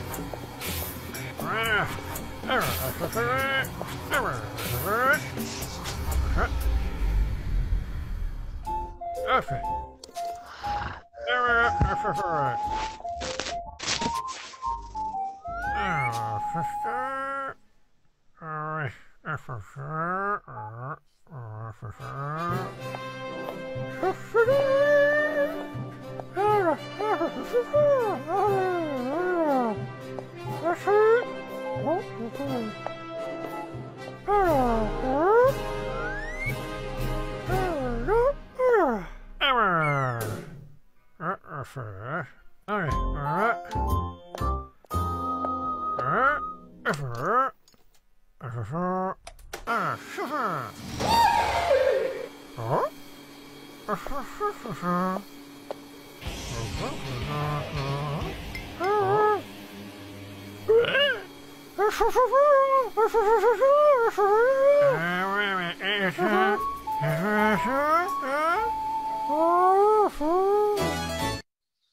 Muy bien, a ver, si alguien comenta qué es lo que pasó con Napo aquí en este caso. Le faltó poner su propio candado. El propio candado. Es algo que se vio similar a lo que el, equipo este con aspas que tenían en la planta. En este caso también, ¿no? Eh, Napo ve el candado del otro señor que es un electricista y entonces él piensa, ah, qué bueno que colocaron el candado por mí. Él no coloca su candado, el señor electricista termina su trabajo y energiza el equipo, ¿no? Y Napo está dentro del equipo haciendo un trabajo mecánico, ¿no? Entonces es, un accidente. No todos los que van a intervenir el equipo deben de colocar su candado, ¿no? Esa es la lección. Bien, hay que liberar las energías, ¿no? Las energías residuales, en la hidráulica, liberar la presión del aceite u otro fluido, puede ser agua también, neumática, liberar la presión del aire o de gas también, ¿no? El gas también considera una energía neumática, térmica, liberar vapor, esperar que enfríe, ¿no? En el caso de tuberías, lo que les hablaba, o maquinarias, motores, debemos esperar que la temperatura de piel alcance un valor que no nos pueda causar quemaduras, ¿no? lo que es la energía mecánica, cinética, esperar parar el movimiento y en la potencial dejar en posición de descanso, es decir, bajar, ¿no? Bien. Entonces aquí tenemos los diferentes formas, ¿no? En el caso de, eh, estamos hablando aquí de energía, eh, bueno, puede ser hidráulica, puede ser neumática, ¿no? Vemos, para eso tenemos un manómetro. Bien. Esto es el punto de trabamiento, el punto de bloqueo, como ustedes lo quieran llamar, donde se pone su candado y se pone su tarjeta. También hay cajas de bloqueo grupal cuando son muchas las personas que van a intervenir un equipo o hay muchos puntos de bloqueo ¿no? para intervenir una maquinaria. Y también tenemos lo que es la transferencia de bloqueo, que como les dije, en el caso de que el trabajo no se pueda terminar en un turno, hay que continuarlo en el siguiente turno, entonces se hace una transferencia de bloqueo. Bien. La caja de bloqueo grupal es un dispositivo empleado para contener en su interior las llaves de los candados de bloqueo grupal, ¿no? Entonces, cuando hacemos un cambio grupal, el bloqueo grupal se introducen las llaves de todos los candados puestos, por ejemplo, si son tres interruptores o cuatro interruptores, todos los candados que se pusieron en esos interruptores, las llaves se colocan en, por esta ranura, se colocan en la parte interna de la caja de bloqueo. Los empleados que van a intervenir en, el bloqueo deben asegurar con su candado bloqueo individuales y todos los que van a intervenir deben de colocar su candado y sus tarjetas. Y existe también dos tipos de caja grupal, ¿no? Estacionaria, que generalmente la tienen así fija, sobre todo cuando ocurren paradas planta, y otra que es móvil, como esta caja que está aquí, que la podemos trasladar para diferentes partes, ¿no? Bien, a ver, vamos con el quiz número uno. Bien, eh, en este caso, a ver. Creo que, eh, denme unos segundos. Creo que sí, ¿no?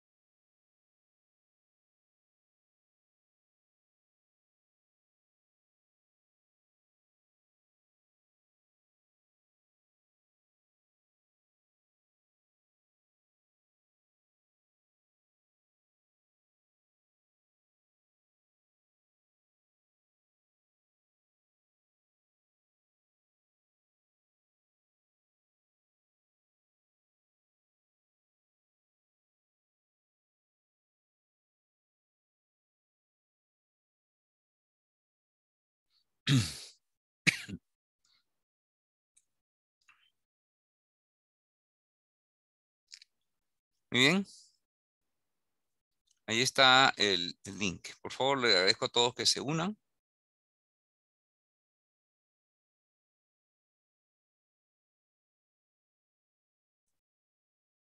¿Pueden ver el link?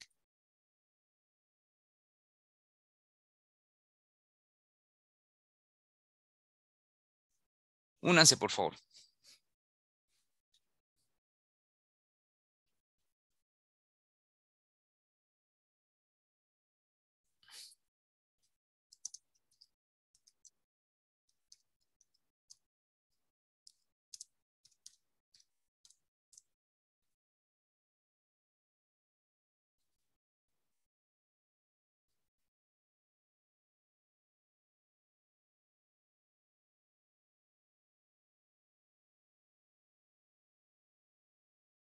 Bien, a ver, vamos a iniciar.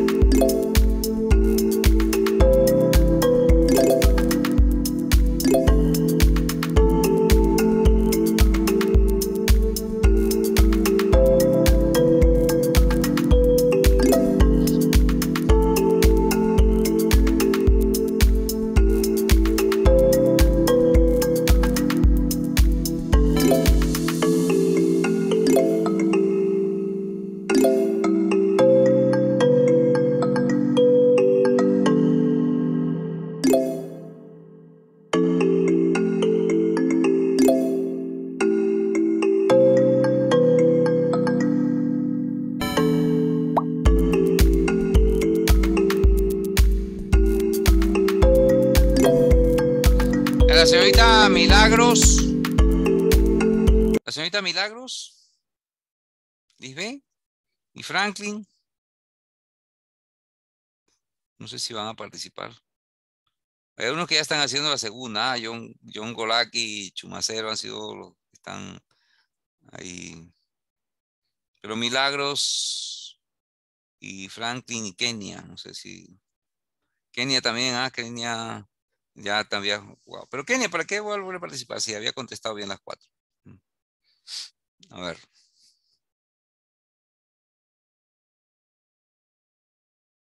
Bueno, muy bien, vamos a irnos porque ya también tenemos que terminar. Entonces vamos a ponerlo, ¿no? En fin. Eh, las preguntas serán las siguientes, ¿no? A ver.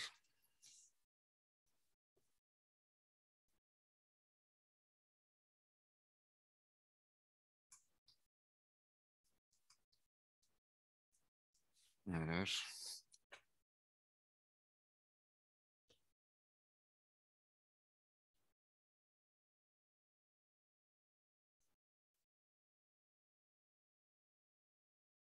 Muy bien, vamos con la primera pregunta. Es un requisito normativo bloqueo etiquetado, eh, ¿no?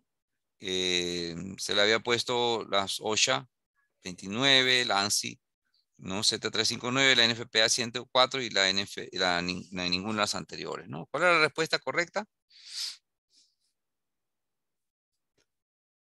A ver. Esta primera.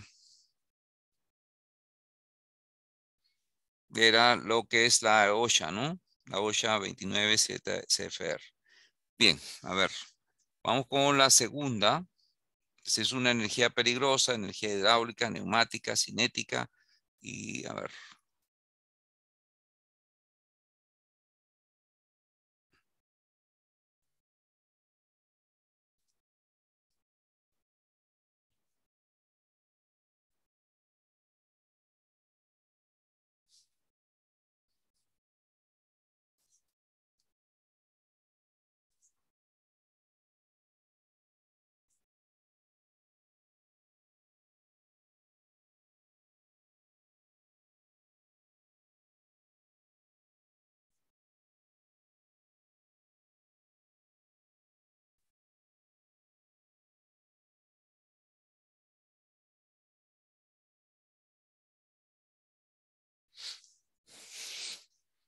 Bueno, aquí es Chumacero y Golac fueron que realmente la señorita Silvia fue, la que en la primera instancia la hizo bien, ¿no?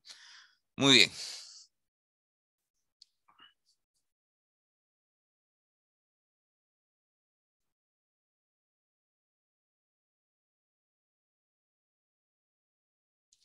Bien, aquí está, ¿no? Lo que están, las que completaron, Chumacero, Salcedo, Golac, en la segunda oportunidad, Chumacero también, por los Nayo, Kenya, eh, que libera, fueron los que completaron las cuatro, ¿no? Y el resto tuvieron tres aciertos, dos aciertos y así. Bien, entonces vamos a ver las preguntas, ¿no? Que eran, la primera es un recasito normativo de bloqueo etiquetado de energías, ¿no? Tenemos OSHA 29 CFR, eh, era la respuesta correcta, ¿no? La contestaron nueve, nueve jugadores.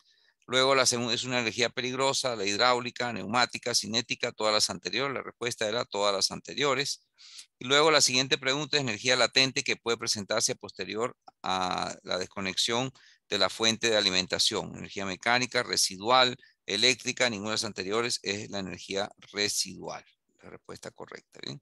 Y señale cuál de las siguientes barreras es la más efectiva. Control de ingeniería, control administrativo, equipo de protección personal, sustitución. De estas cuatro es sustitución. Bien.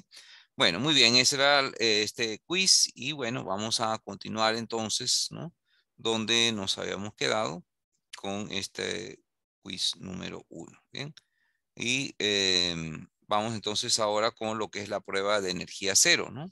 Es el último paso para el control de las energías. Tiene como propósito verificar si la máquina, equipo, sistemas realmente están desenergizados. ¿no? Entonces, para ello se aprieta el botón de arranque o de encendido de la maquinaria y luego se, em, luego debe también tomar la precaución de eh, oprimir el botón de apagado para que no quede el equipo en posición de arranque cuando vamos a reenergizar el equipo. ¿no? Eh, en este caso, debe verificar si todos los puntos de bloqueo previstos en la matriz de bloqueo fueron efectivamente aislados y hacer la prueba de energía cero en todos eh, los puntos conjuntamente con el ejecutante y solicitante de bloqueo. ¿no? En el caso de sistemas presurizados, pues tenemos lo que es un manómetro para indicarnos si la presión está en cero. ¿no? Bien, comprobar, eh, cómo probar y verificar el test de energía sérico. En lo que es la energía hidráulica, verificar el manómetro, escuchar el alivio, eh, verifique que la válvula de liberación si está en posición abierta, intente accionar lo que depende de la energía hidráulica. En la neumática, verifique el manómetro, escuche el alivio y verifique la válvula de liberación. Eh, bien, entonces aquí tenemos esto.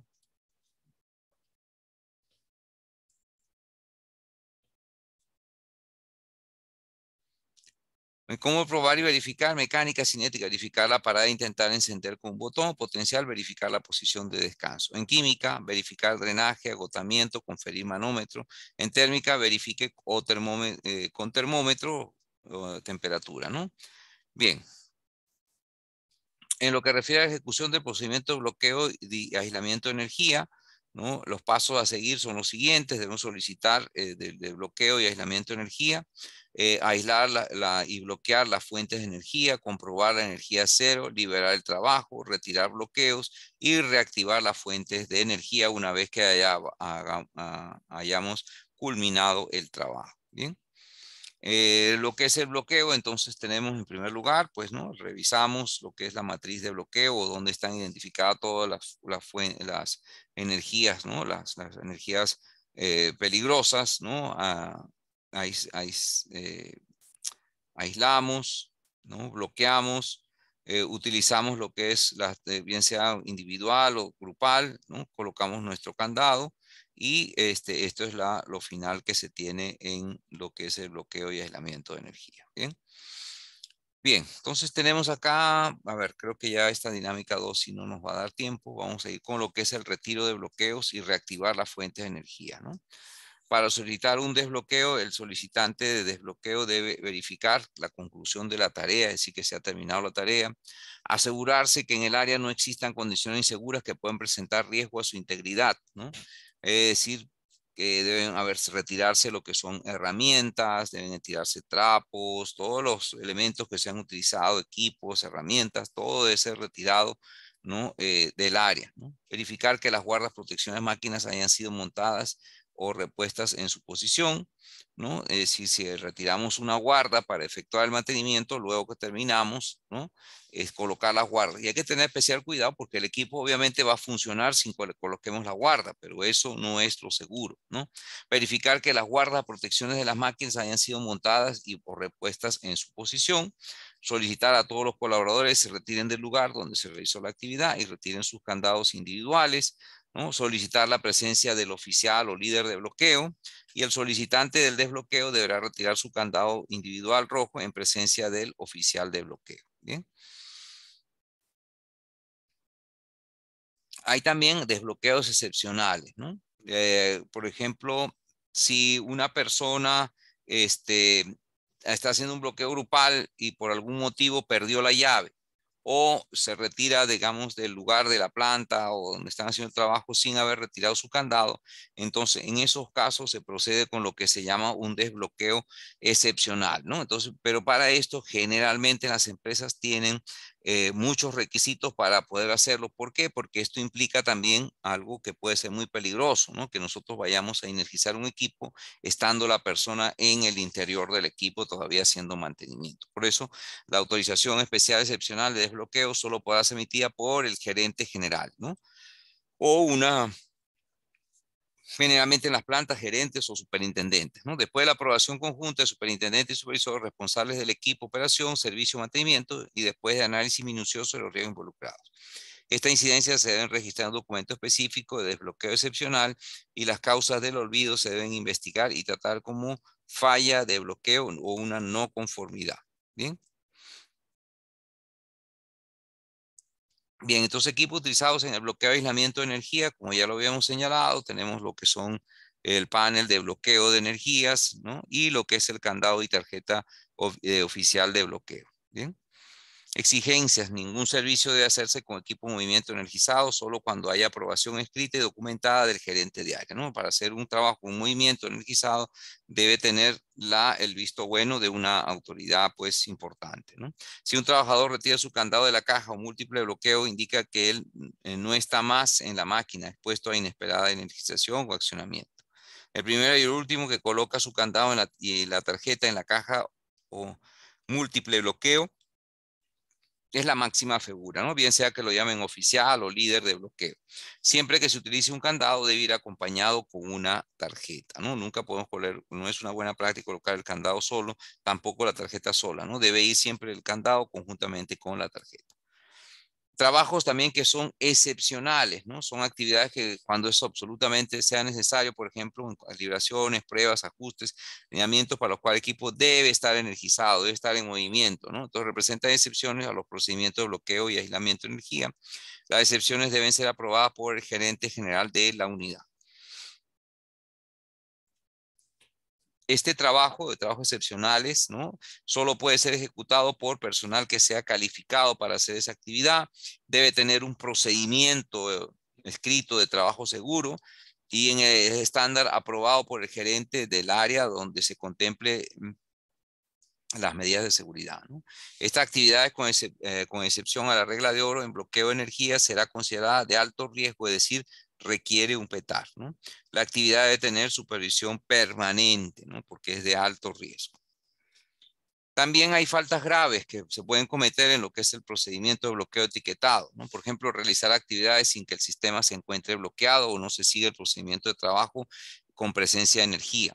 Dejar de usar el candado individual de seguridad durante el desarrollo de actividades que exigen su empleo. Prestar el candado de seguridad y usar, o usar el, candado de otro compañero, ¿no? No. Liberar el equipo sin considerar las condiciones de seguridad, ¿no? Remover o cortar el candado oficial de bloqueo y otros candados de la caja de bloqueo del sistema sin seguir los procedimientos de desbloqueo excepcional.